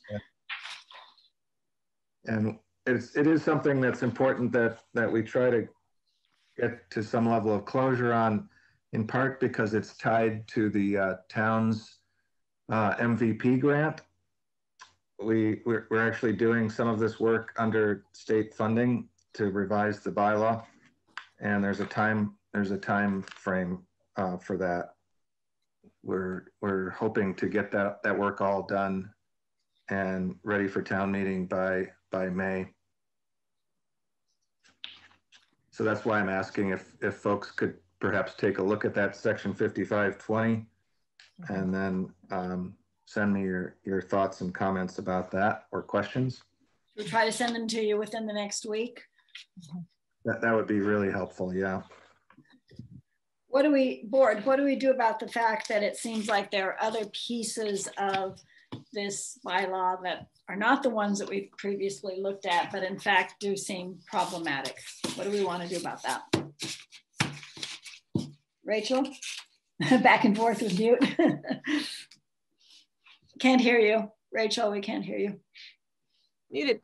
I do think that we, um, this issue of who goes first and how we work together, this has dogged us all along. I think Anne Mary has um, makes a very forceful point uh, about mm, how we proceed, who gets to make that decision. We're not making it; the town would make it anyway. So, but we would be proposing it. I think uh, the the point of an elected board is one thing. The other feature is that we re, we meet regularly, whereas the ZBA meets uh, when they have projects before them. They don't have to meet as regularly. So uh, it, it, that was always a feature that you know just even if you were just kind of relying on good neighborly cooperation that who what night we met on and you know when it fit, fit in i think a little more regularization uh, more would be really helpful if we're if we're there. I mean if we're at that point and nothing dramatic and i do think the 60 days is something to look at and i, I appreciate that um, chris would talk to adam about that because i can't imagine there's not something that protects the business owner as well involved with the state regs. Well, then maybe what we're talking about potentially is at, within the next week as we send comments to Chris, if um, people can go through the whole site plan review section, certainly not with a fine tooth comb like me for select board versus board of selectmen, but if there are major, you know, really major issues that we could bring those forward for discussion next and, and include that on your comments, even though, I mean, it would just be consolidated to send them to Chris. That sound okay? Okay, good. Ooh, thank you. All right, we have two more. Can we move along then? We have two more um, potential bylaws, the ADUs and um, the formula-based business. Um, I do wonder with the, Chris, we've put you off on so many things, but if um, we might be able to address the formula-based business, which might then mean we need to do the ADUs, uh, accessory apartments, at our next meeting, or depending on how quickly or how well we get through formula-based business. How does that sound to, to people? We certainly have a lot of public who are interested in the formula-based business that are online right now. Can we go forward with that? fine to me. Okay, great. All right, so formula-based business, and I think, uh, so Chris, thank you very much for your patience and your work on this. And we're just, we have a, always have a warm seat for you here. uh, formula-based business, Debbie. Debbie Hi, yes, Debbie Shriver, Pocumtuck Drive. We're uh, back again. This is now this is a continuation of the public hearing. Is that? Oh yes, I need to reopen that. We are um, reopening the public hearing. We will have discussion, and if it feels like we're at the end of discussion, then we can move to and second to close the public hearing, and then the planning board would vote on a uh, on bringing the proposed bylaws to town meeting. Is that I think yes, that's and that was my that was our hope. Is it would be that uh, that that the planning board would be vote to be proponents of this bylaw at town meeting and for it to uh, go on to the warrant. Um, so we this is a continuation of the hearing. We've gone over elements of the proposed bylaws and tried to make changes that were responsive to what the uh, the planning board's and other members of the public's comments about it. Um, so I would be helped a little bit by knowing what would be most helpful for for you folks in as much as we've uh, spent some spent some time on this topic. Uh, what is what would be most useful? Um, well, I think at the last meeting, there was a request that um, to sort of understand what's the goal of all this. And you um, very nicely, you know, uh, sent us something that would basically be an explanation. It wouldn't be part of the bylaws, as I understand it. That's correct. And I uh, we sent that out uh, earlier today uh, in response to that request by the by the board, but that would not be a part of the bylaws. So it seems like rather than adding in, in, an element that isn't directly related, it'd be better to set that aside. But, and that is because these are amendments to the existing bylaws. Therefore, we're, we're not proposing new bylaws. These are amendments, and that's very important to understand. Amendments to the zoning bylaw 179 um, and, and some of its elements, including the table of uses, uh, among others. Uh, what, what would be the, be the most helpful for you folks? Board, I mean, um, I don't think you've really, otherwise you haven't made any changes since the last time we discussed. No, that we were not asked to make any changes from the, uh, the version that you have is dated January 23rd of this year. That is the one we spoke about at the last meeting, went over the, the changes that that represented in which we had made some additions to the definitions um, um, and we had uh, we had focused on uh, an applicant having to uh, conform, alter definitional elements four, five, and six, which are exter exterior elements of their uh, proposed buildings, the facade, the um, standardized decor and color scheme of the building, and standardized signage in order to um, potentially develop in the C1 and C2 districts in Deerfield. Oh. Exempt from this is the C, the most northerly C2 district um, on which there would be no restrictions, none of these restrictions on formula-based businesses. So we could have some additional discussion with the planning board as well as members of the community. It's a little bit hard when we've had uh, months between some of our different discussions. Um, right. I will say that um, as I've been talking with a few people in the last month, one comment that was made to me is that zoning is a snapshot of what the town will look like. I think is really interesting.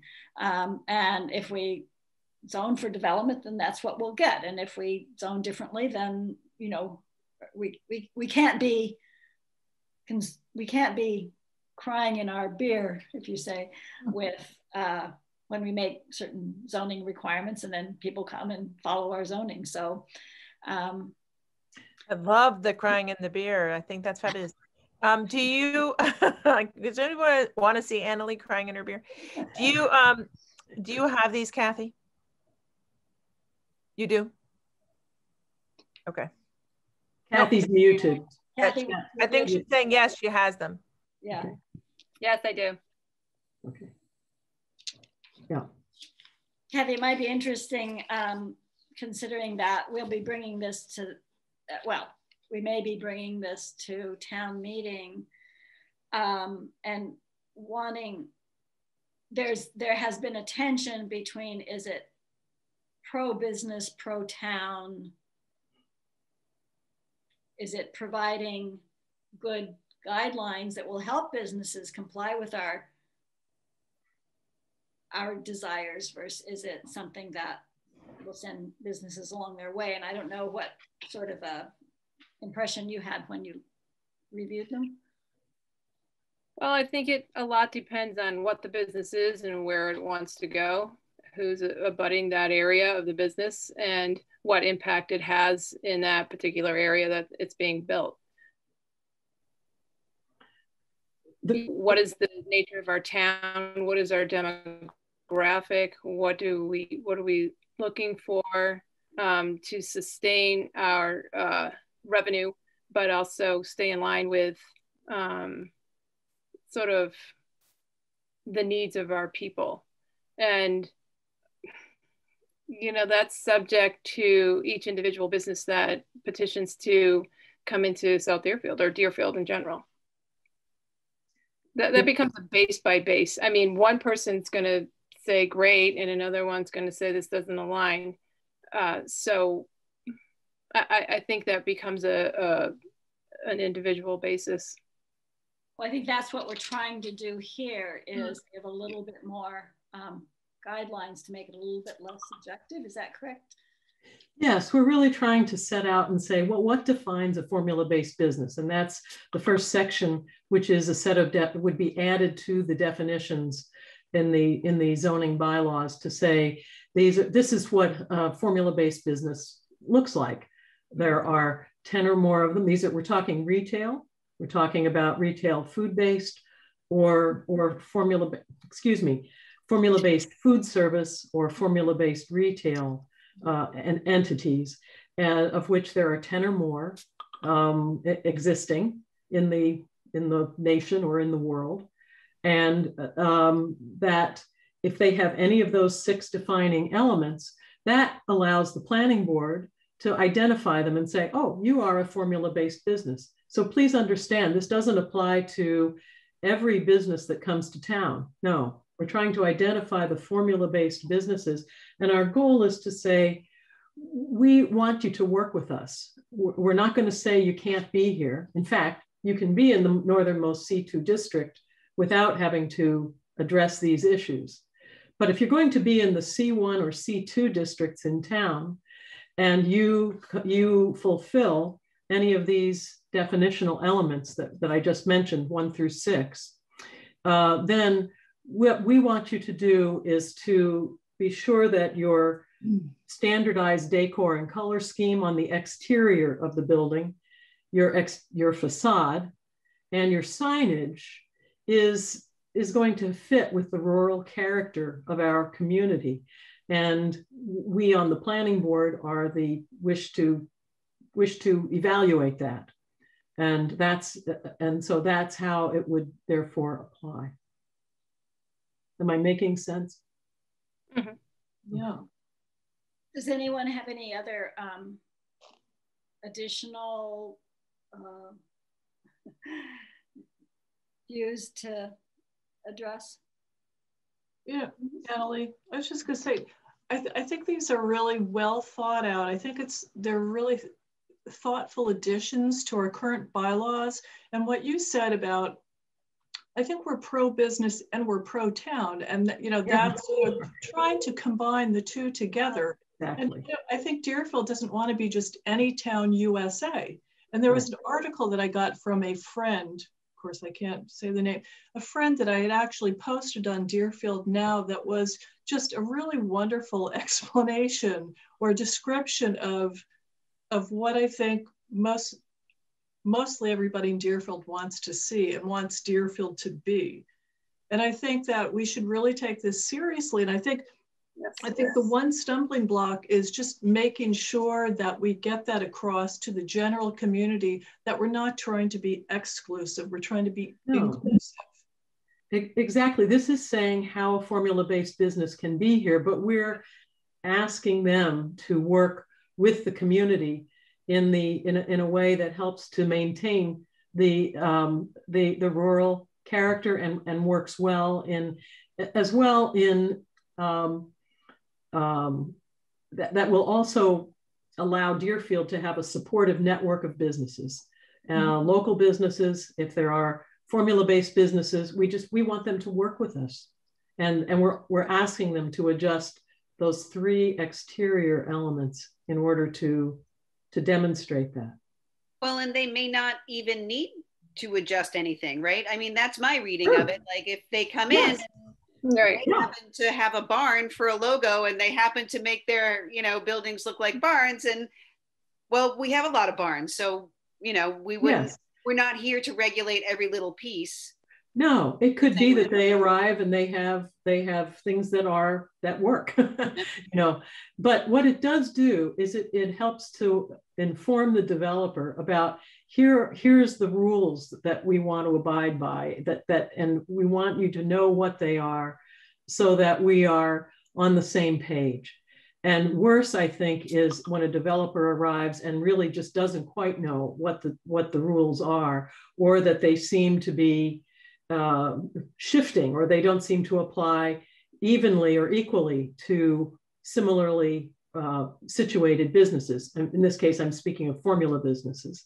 So um, this this is also protective of the town in that sense, protective of the town's interests to have to have clarity about that. And I will mention too, re reiterate that these um, that Deerfield in 2008 considered uh, at an early stage a draft uh, similarly very similar to this one, and which was eventually adopted again very similar to what this bylaw is was adopted in other communities in Massachusetts. It kind of fell off of Deerfield's radar, radar back in 08, but, but what we're actually proposing is um, our bylaws that are, are um, amendments that are in use in other communities and which have been approved and by the state attorney general. So we know from that standpoint that they have passed muster legally. And this um, just also, by the way, the these um, the versions that we're showing you were reviewed by Bob Ritchie, an attorney who formerly worked in the Attorney General's office, reviewing um, uh, bylaws for their for how well they accorded with state statutes. So it, it, got it got it got a good look over by someone who would know, and that was done informally. We uh, through the aegis of our um, uh, land use planning consultant uh, Jeff Lacey, who helped to draft, who drafted these documents for us. Um, let's see, Max, do you have any questions or thoughts? No. All right, thank you. Anyone else on the board? Um, if not, if it feels uh, we would be at a point then for taking a motion to close the public hearing and then we would uh, vote on bringing whether or not to bring the proposed bylaws to the town. Um, I guess, could I have a motion to close the public hearing? I move that we close the public hearing concerning formula-based bylaw changes. Thank you, Rachel. Denise Mason, I second that. Thank you, sir. Denise. Any other discussion? All right. Um, I have a uh, so when uh, uh, in well yeah, a quick question. So will Denise, will you, I mean, Denise, sorry, I'm looking at Denise, but I'm saying Debbie, will you be the one pre presenting this or are we presenting this? Aha. Our, our request is that, that the planning board be the proponents for this in, uh, in, in its placement on the town warrant for, for town meeting um, we can, you know, discuss who speaks for it, I guess, at town meeting. I, I don't quite know how that works. Are you raising your hand to do that, Annalee? Is that what no, you No, I'm saying, you know, side by side with, I'm remembering at last town meeting when John sat there and I think Chris was next to him for some of the meetings and whatnot. So that would be good. We'll, we'll absolutely assist in whatever way the board would find useful and helpful. All right, uh, any further discussion? Okay, uh, let's see, a roll call. Um, Max? We vote, we're just oh. voting to close the. Clo to close, yes, to close the public hearing, correct. Yes, so Max? We can close the, pub the public hearing, hearing, yes. Aye, thank you. Uh, Rachel? Uh, yes, aye. Rachel Blaine. And Mary? Anne Marie Cloutier, aye. Denise? Mason, aye. Kathy? Kathy Wetruba, aye. And Annalee, aye. So it's uh, unanimous that we'll close the public hearing. So now um, can we have a motion to about uh, about to bring the proposed bylaws to town meeting. I make a motion to bring the proposed town law, uh, proposed bylaws to town meeting. Denise Mason. What happened to deliberation? Uh, I, I, think discussion, does discussion come next? Wait, we'll have a move in a second and then discussion. Am I doing it correctly? No, I thought we had discussion. Well, the discussion was to No, close. just to close the hearing. Now we're discussing whether or Okay. not to bring them forward to town. Okay, we've closed, uh, I'm just, No, that's fine. Clarify, please, if it's not clear. We're new, Max. okay. No, I just thought once we close the public hearing, the board deliberates as to its position. I think that's true. So we'll move to bring it to town meeting. We'll second that. And then we have discussion. Is that how we'll? Well, you're kind of letting the cow out of the barn before you discuss it. I So- think we discuss, then we vote. We Right. close the meeting, now we discuss among us, and then we vote among us. Oh, okay, sorry. No, that's Uh, fine. I George, just, Were you seconded? I don't think, were you seconded Denise? I don't know. I don't, I don't know. I don't think so. Reel that back. All right, thank you. So let's have some deliberation on these. Deliberation is open. um, so I understand why they, why this is brought forward and the purpose and all that, but I just feel it's, it's, you know, I wouldn't mind a CVS, I wouldn't mind a Walgreens, I wouldn't mind a lot of, you know, formula-based businesses in town, uh, but I don't know. I just it just seems too restrict. You know, it's like we're we're throwing up a wall, and we're not being business friendly. That's my feeling. You know, the, what about Subway? What about Dunkin' Donuts? What about? there's a lot of businesses that are formula based and want to you know they've spent a lot of time and money creating their brand you know creating their look their decor their architecture and we're just throwing up a wall to say okay but not here you know we we want our own special deerfield version of, of dunkin donuts or on that. So i just i don't know how constructive it is. So that was my two cents. Thanks, Max. So I'm going to add a two cents, um, and then because um, I I agree with uh, Max in the sense that we aren't we we we want to be sure that each time we make a what is more or less restrictive of businesses or potential to restrict businesses that it's tempered. I I do think, however, that th- this formula based for, for my money it doesn't seem that it's saying no. It's saying please play with us. Please please keep uh the make the town a partner and um, yes in fact wouldn't we love our own version of your dunkin donuts and that if dunkin donuts came tomorrow prior to this and said we'd like to put a dunkin donuts here and we said would you be willing to give us the Haydenville shine? And they said yes, then we'd be all set. And we'd say, come on ahead. That's a perfect place for Dunkin' Donuts. Um, this just gives us the opportunity to exert a little more influence in that oppor- in that invitation to play with us, invitation to partner with the town. Play that's wrong. To partner with the town. Um, uh, I know I have felt that with you know, we've had two recent, um, mm, what did formula businesses come to town, and I felt that more with one than the other, always.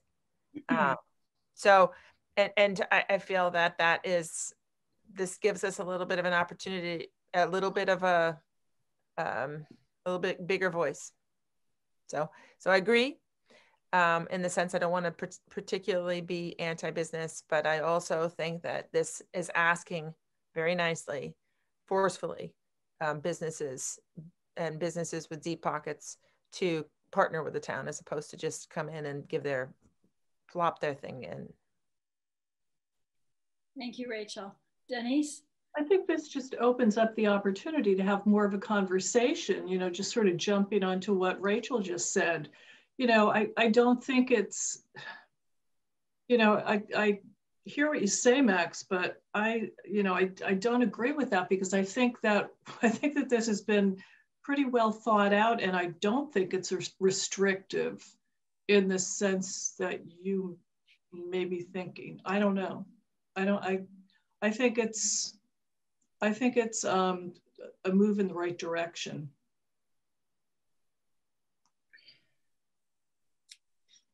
Any other comments? I think it's important, you know, to when we, I, I'm not sure who's drafting this, to be honest, you know, who will draft the ultimate version. But I think it's important to really delineate that these are things that we may look at. Like, I want to just reiterate what these guys are saying that we're not asking to um, tell them what to do. We're saying that these are some things that we look at, and it's not an automatic no. But I think that in the introduction, like in you know when businesses come and they're flipping through our bylaws, I think the first thing they should see is that the these are you know a very friendly opener. I guess that's what I'm trying to say.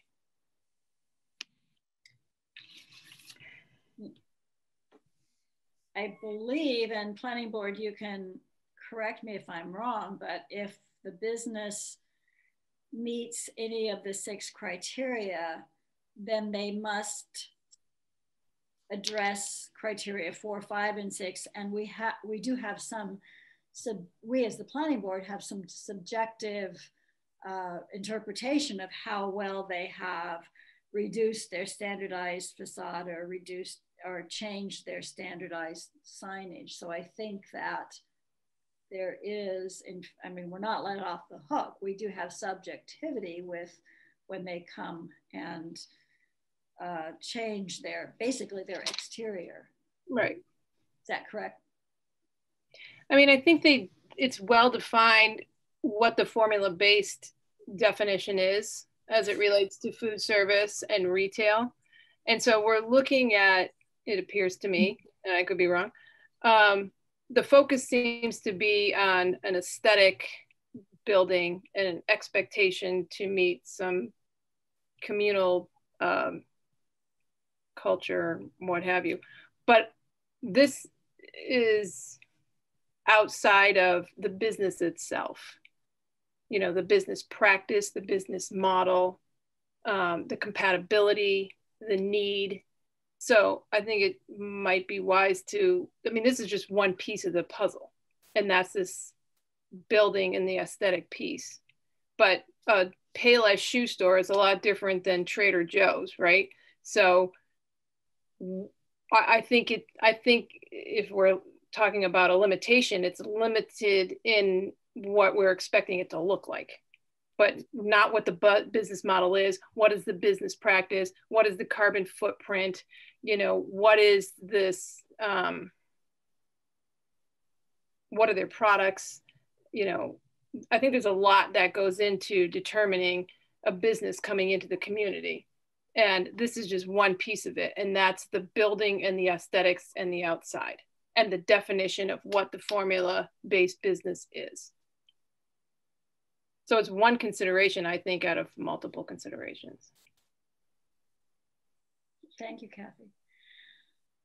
Uh, let's see, any other discussion, deliberation? So I'll let someone else make the motion.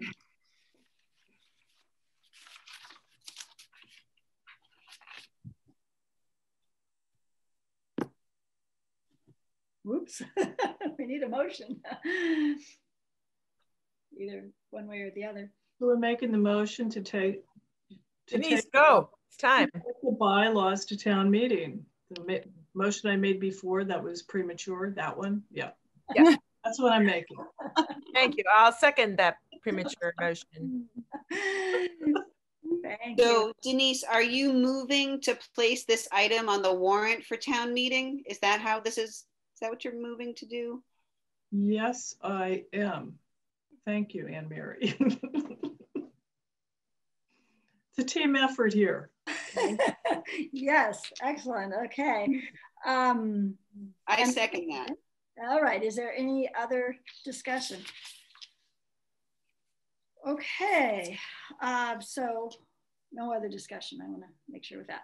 Um, so uh, roll call vote. Anne Mary, Anne Mary Cloutier, aye.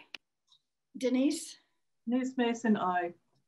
Kathy, Kathy Wetruba, aye. Max, Max Antes, aye. Rachel, Rachel Blaine, aye. and Annalee, I. So um, unanimously, we will put this on the warrant for the town meeting. Thank you all for your. Thank you very much, members of the board. Thank you very much um, for your unanimous support. That's important and we're very grateful for that. So thank you. Thank you for your work. So, So, Anna, oh, sorry, Annalise, so prior to the, um, to when we have the meeting, it'll be discussed as to who will present, maybe Debbie will present and someone, someone else, so you'll have that. And we can also talk further, uh, as, as Anne Mary was pointing out, we can talk further about a, we're very happy to prepare a kind of, a, uh, like a one-page description for educational purposes, for uh, the community going forward between now and town meeting. We'll include a, that purpose, something, uh, something like what I you received earlier today, and a greater description of what the key elements of the bylaw are and its and its function. So that's something we can happily talk about. That is something apart from a, a public hearing. I, I, think that's I think that's only a, a, way of working on educating the public and having discussion about it. So we can do that in whatever way you would find most useful, and uh, we're glad to um, be supportive of all that. Great. Thank yeah. you. Okay. Thank you. All right, uh, nine o'clock. Um, if we have a drop dead at 9.15 at the latest, is that okay with folks? Okay, let's really make sure it's 9.15. Um, this is a quickie. Uh, Rachel, we wanna thank you for your um, work on the Capital Improvement Planning Committee. Rachel is stepping down and um, Denise Mason has agreed to step up unless somebody else wants to battle with her for the for the spot, a planning board, uh, planning board appointee on the capital improvement planning committee. Otherwise, um, I'll entertain a motion to appoint Denise to the capital improvement planning committee. I move that we appoint Denise to the capital improvement planning committee. All right. All right. Second? Second. All right, Kathy. Kathy second. Uh, any other discussion? All right, um, let's see, Max, Uh, Max Antes, aye. Rachel, Rachel Blaine, aye. and Mary. Anne Marie Cloutier, aye. Denise will have you vote last. Kathy, Kathy Wetruba, aye. uh, Annalee Wolfcool, I, and Denise Mason. Denise Mason, aye. All right, congratulations, Denise. there you go. This go. is what retirement brings. That's right. Denise, Um, there's a um, there's a meeting on Wednesday the third at five thirty, so you just need to be sworn in before then. Oh, okay. Oh, okay. So I've got to come down to Call Barbara and call Barbara. Okay. Thank you. Mhm. Um, we had the next item on new business, um, Denise, um, talking about document distribution schedule. You addressed that slightly initially. Right. Actually, I think I brought it up uh, when John, during John's last meeting, but we had so many other things to talk about. You know, th this has happened, I think it's happened on a number of occasions and, and you know, I really, uh, half of us are working full time. Rachel and Mary, I don't know what your schedule is, Max, and Kathy, of course. I find it very difficult to get um, to get items sent at the last minute, items sent on Friday, items sent on Monday or Monday at five o'clock, six o'clock, seven o'clock. So my proposal is that we, you know, in order to have something put in on the agenda for Monday, that there should be a time limit that we receive documents. And I think that it would be a lot more straightforward um, for everyone. And I think also for town employees who, you know, who are distributing these documents. So I, you know, I don't know. I mean, I did um, speak with Annalee about this, and I'm not sure whether we came to you. Just we we wanted to discuss that to see how many days prior to the meeting that we should be receiving the documents, so that you know, so that we were able to actually look at them and you know digest everything and have thoughtful discussion so that you know we don't put you know chris curtis on the back burner all the time too i mean unfortunately you know i saw i did happen to see chris and and let him know on friday said chris we need this document pretty soon so people have a chance to look at it so i don't know what other people's thoughts are on this issue and if this is something that we as the planning board can make that decision Thank.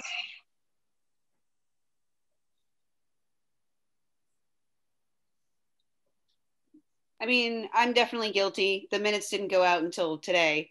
Um, and it's sometimes hard for me to get on top of. Um, I, you know, I assume people are doing their best, you know, so I, I'm not sure.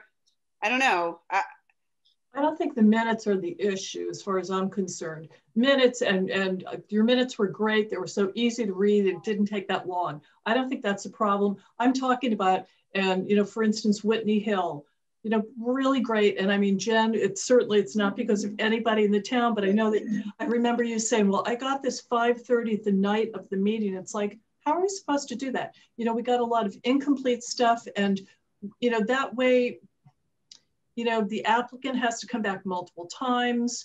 Um, it's more work for people at town hall and it's certainly more work for us. And it's just not very streamlined. Jen? There's a couple things that, I mean, I've been speaking to Annalee about and also talking within, you know, the office and with Casey and it's process, right? So getting an application in, reviewing the application, making sure that it's complete, making sure that it's the right application for the, the right you know purpose and and before it even actually gets stamped in so that whole timeline thing that you were talking about before so the application is not stamped in. It's not accepted until i know that it is complete and that bob says that it's complete and that you know we know that this is something that the board can actually review and have all the documents that are needed you know present. That wasn't the case and there isn't any um, thing written down um, in the town that says that you know, and I know the ZBA and everything that I was critiqued with and everybody else in the office, um, with getting documents out to people in time and making it all public, whether it was from the applicant or from somebody from the town. It's like, what what is our guideline and what is our time frame and what is our time limit in order to share those documents. And so here I am at home frantically trying to get something up onto the website and get it to the right place. And then people are like, I don't see it. And it's like, well, I'm sorry you don't see it, it's there. And so on and so forth. And, and so if we could have some sort of guideline to say, let's say 72 hours prior to a meeting or, or if even a week, it has to be, you know, I know other towns and other towns that I've worked in, um, have that established at time of posting of the meeting there is nothing more that comes before the board because you need that time to review all the documents and to have um, ample time to, to review. As well as for me it's like for me to review something and to say you know what? You didn't give me a stamped plan or you didn't give me a signed plan that actually has dimensions on it or um, or the application doesn't state which part of the bylaw you're you're taking it to the board for. So you know what to review for because that's what the board's job is, is to take an application and to know, okay, this is section 5300 and we're going through these stages and it's this section and it's, you know, we're going to go through these um, steps to see if that criteria is met. So that's something that um, needs to be done prior to it even getting onto an agenda. And I think that that's what Denise and Annalee and others, you know, I think it's. So Jennifer, what would be your druthers? Like, when do you want everything in? I mean, I would like to see the application prior to it even coming in. I think that we need to set a standard with people out there so that they're not just waiting for the last second. And um, we have to start somewhere. So it's like you need to make an appointment with the town to so that Bob and I can sit down and to talk to them and to say these are the steps and oh you have to go to the zoning board for this or you need to go to the planning board for this or this needs site plan review or this needs conservation as well. And so you can do things concurrently. Um, but i really think it's important that there's a pre-application meeting that happens. I mean and it, it's going to take time for people to learn that and it's a lot of extra work but um, I think it's important because then they go back out and they go, okay, we need to hire an architect and we need to have, you know, plans that show X, Y, and Z on it. And when we when you look at our application, it says what we're requiring. And so would it be possible for someone to go to the website look at the application process, get their ducks in a row, come in for a meeting with you, and then 48 hour, you know what I mean? 48 hours later, they could. They, they could. If, if they had their stuff in line, right? Yes. If they okay. have stuff in line. Or the, the close of business three days prior, is that when um, it needs to be on the, it needs to be posted? No, it, it really depends because I mean, some of this, if it's a if it's a hearing, it needs to be published. You know, so I mean, it's like it. it there's different guidelines for different processes, but I mean, if we're going to accept an application, it needs to be complete. So it needs to be reviewed first, and that that information needs to be there before it gets stamped in with the clerk's office. Because right now, everything just gets stamped into the clerk's office, and then it starts the, the clock ticking and then and then it just it has to get seen before the board. So it there's a timeline and so then the board has to see it and then you guys don't have the right information. So then what do you tell them? I'm sorry you need to come back to the next meeting because you don't have um, the details that we need. So it seems like the clock should start ticking when they sit down with you with what they perceive to be a mostly complete slash yeah you know because because you may find something as a board that you want more than what I see you know because i'm going to say okay the application says that you need to have a stamp site plan you need a lighting plan you need a site plan um, sign plan you need x y and z. And they may say to me i want to waive that. And so there's a part of our application that says that you can waive different things and the board can accept that waiver. Um, and the board can then say we're not going to accept that waive waiver and we want you to do x y and z. And so then they go away and you continue it and then they come back with that.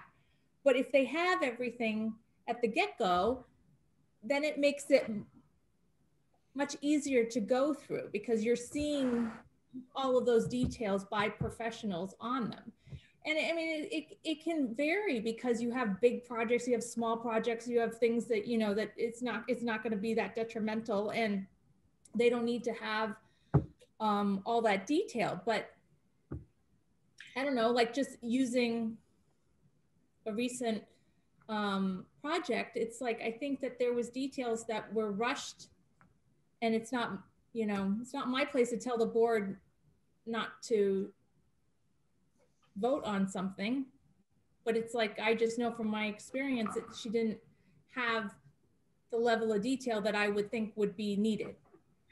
It sounds you know potentially i know um, i've learned that most of our applications or many of our planning board applications were last reviewed in 2014 i believe it was with their cover sheet of instructions to the applicant. So potentially maybe um, does this sound reasonable that Jennifer works on um, whatever at least the instruction piece is, which might include a pre-planning discussion with you, Jen, but then nothing, things don't, things need to come up, come to us within what, uh, 48 hours, two business days, three business days, close of business three days prior to our meeting? What I'd say close of business. Typically have a meeting Monday. We should, I think we should get it by close of business day on Thursday. You know, that would give people ample time, you know, to look at it. uh, before, you know, before the meeting. And, and You know- by that point, it should be a complete application. Yeah. It should have already been reviewed by myself and Bob and taken in by Sue. And we should have all those details. We should have our paper copies. We should have our electronic copies. Um, and then you would have the time as a board from Thursday until Monday to review those details or to come into town hall and, and look at hard copies upon um, appointment if we're still in the situation that we are now. So basically, we're talking about um, two business days prior to our meeting. Yes. Okay. Uh, I don't think we need to have any official policy vote or anything on that. I think Bob, do you have any comments to that, seeing how it's your office and Well, no, I mean, I, that last minute thing's difficult. Like Jennifer will look at emails at 5:30, 6 o'clock, but Sue's leaving at four o'clock. So if something comes in, what might be close of business at five o'clock for somebody, that's really not close of business for us.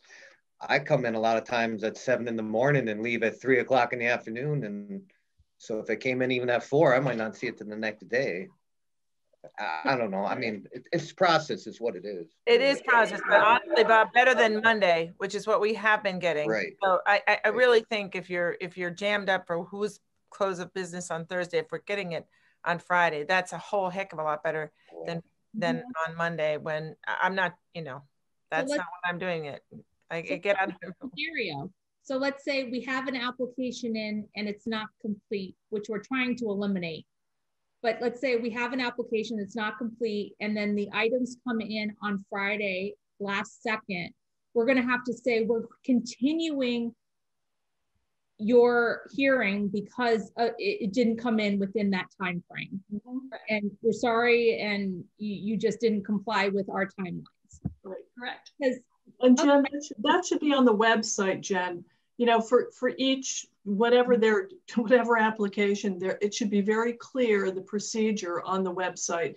Or when someone calls to ask a question, you can refer them to that document on the website. Okay. I mean, I, I, I've been working on one because I'm trying to like pull from different communities, this community, what our practices, what we want. Like it says we want, you know, a full set of plans for each board member. I don't think that that's appropriate in this day and age, like that much paper. Like we have electronic copies, we have, you can come into town hall. If you want something specific, I can print it for you. Yeah. Um, you know, there's just certain languages that are on the application that needs to be adjusted for today. Um, but but I agree with you, Denise. It needs to we need to have a set procedure and to move forward um, with that so that we can have these complete applications at the get go because there's so many things that are just being overlooked and um, now that we have a full staff, it's it's easier to to manage, even though it's a lot of work. All right, good. Sounds like we have agreement with that. Well, um, and in fact, there was something that was received much less than 48 hours prior. So that's the A and R on five Industrial Drive. So we'll put that off to our next meeting as well as the planning board, um, select board con- conversations that I'd have. Um, Yeah. The clock is ticking, I understand, for five Industrial Drive, but hopefully, um, if Jennifer has the meeting and Jen and Bob take a look at it and feel that it's comprehend, you know, complete before it comes to us again, that would be great. also more trainings that I, you know, I, I want to look into that the MMA has, and there's the, um, um, oh gosh, I'm drawing a blank on the name, but there's, there's, there's trainings that, that we can send the board members to, to talk about what an ANR is and, and how to move forward with it and how to look at plans. I think And- we'd really like to hear about those. That'd be great. And that can be something that could just be distributed by email to, to let us know too. That's Mhm. great. That's great. Right. And then, to- you know, to do the training, because uh, I mean, it's like we get put between sort of this hard place that the, the board meet, needs to make the decision but yet, you know, Bob doesn't want to take full responsibility of looking at a plan. It's like you all need to know how to read plans and to and to see, you know, what what does our zoning bylaw say and what do you have to look look at, at in the plans as far as setbacks and and uh, square footage and area. Yeah, I don't I don't want to miss something that you know I need you guys to also eh, you know I might catch something you might miss or you might catch something that I missed. We Well, I think it's quite at it. likely. You're the.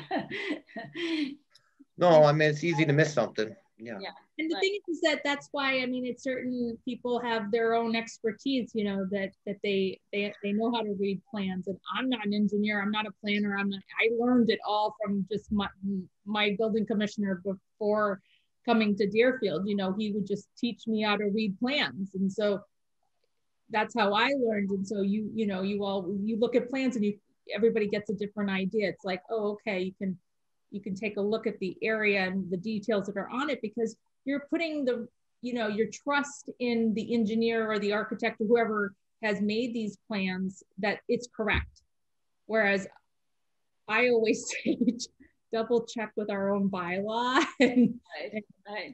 you know having four eyes on it to make sure that it's exactly what we need That's good. All right, I think we're going in a good direction. All right, um, our next meeting, if we continue to meet on a monthly basis, would be April 5th. We certainly have the accessory apartments, which um, may take some discussion, uh, coming back to actually looking at solar and the site plan review, and also then definitely the ANR for Five Industrial Drive and anything else. So um, I mean, April 5th is going to be another cramped meeting unless we decide to try to have something sooner. What are, Finally, remember we had that discussion of whether or not you wanted to ask the board whether they wanted to meet and have hearings on one date and then other business on another date. I don't know what we could do that, yes. Um, that wouldn't be, I just, I'm sorry, I have, I have a question. So if we do that, so for instance, it's almost 9:30, so that's two and a half hours. If we do that, will it reduce the time of our meetings? It has, has to. We have- Okay, I mean, to me, it's, I'm, I'm free, so it doesn't matter. But I, I know for the, uh, you know, others, does it make a difference? And Mary, Rachel, Max, I mean, There's always a bit of a push before town meeting. Mhm. And, you know, so I think that's, I, I, I'd rather m- meet more. And I think that when I hear mm, somebody's concerned about something, it helps me to focus a bit more. I don't mind. Um, I don't want to make two meetings a month a regular thing. um, but I do think that if we're bringing a lot of things before the town, Yeah, I think that we um, ought to be very um, thorough. So that would be my, I would throw my hat more in that. I think you were right. We get Chris here and, um, but, and we kind of jump through, I'm, I've got a plan to go through those again, just to be more thoughtful, but I don't always see things the way, I don't know, in that moment, I'm like, oh, yeah, that totally makes sense. I brushed by the 60 day thing because I assumed that that was a, yeah. that's like, that's how it's always been. It's like the pot roast in the pan, you know? Um, I, I, that's how she always cut the pot roast that way. So anyway, I, I think it's good to work on it together. so the 15th or the 22nd, does anybody? uh, I can't do it the 22nd, so, The 15th it is. Right. okay. And we'll focus for sure on solar, accessory apartment, site plan review. Um, That, that's, you know, if we try to have. If we can have a, because we have to have a public hearing before we can do anything more with any of those. So That's that's, I the- yeah. that's the issue. Okay, good. All right, thank you all very much. So Um, at seven o'clock, Yes. Seven, yes. Okay, and then also the fifth. yes. Okay, I just have to do my Zoom thing. All right, uh, may we have a motion to, I move we adjourn. Second. everybody, yes, unanimous? All right, thank you all very much. Bye-bye.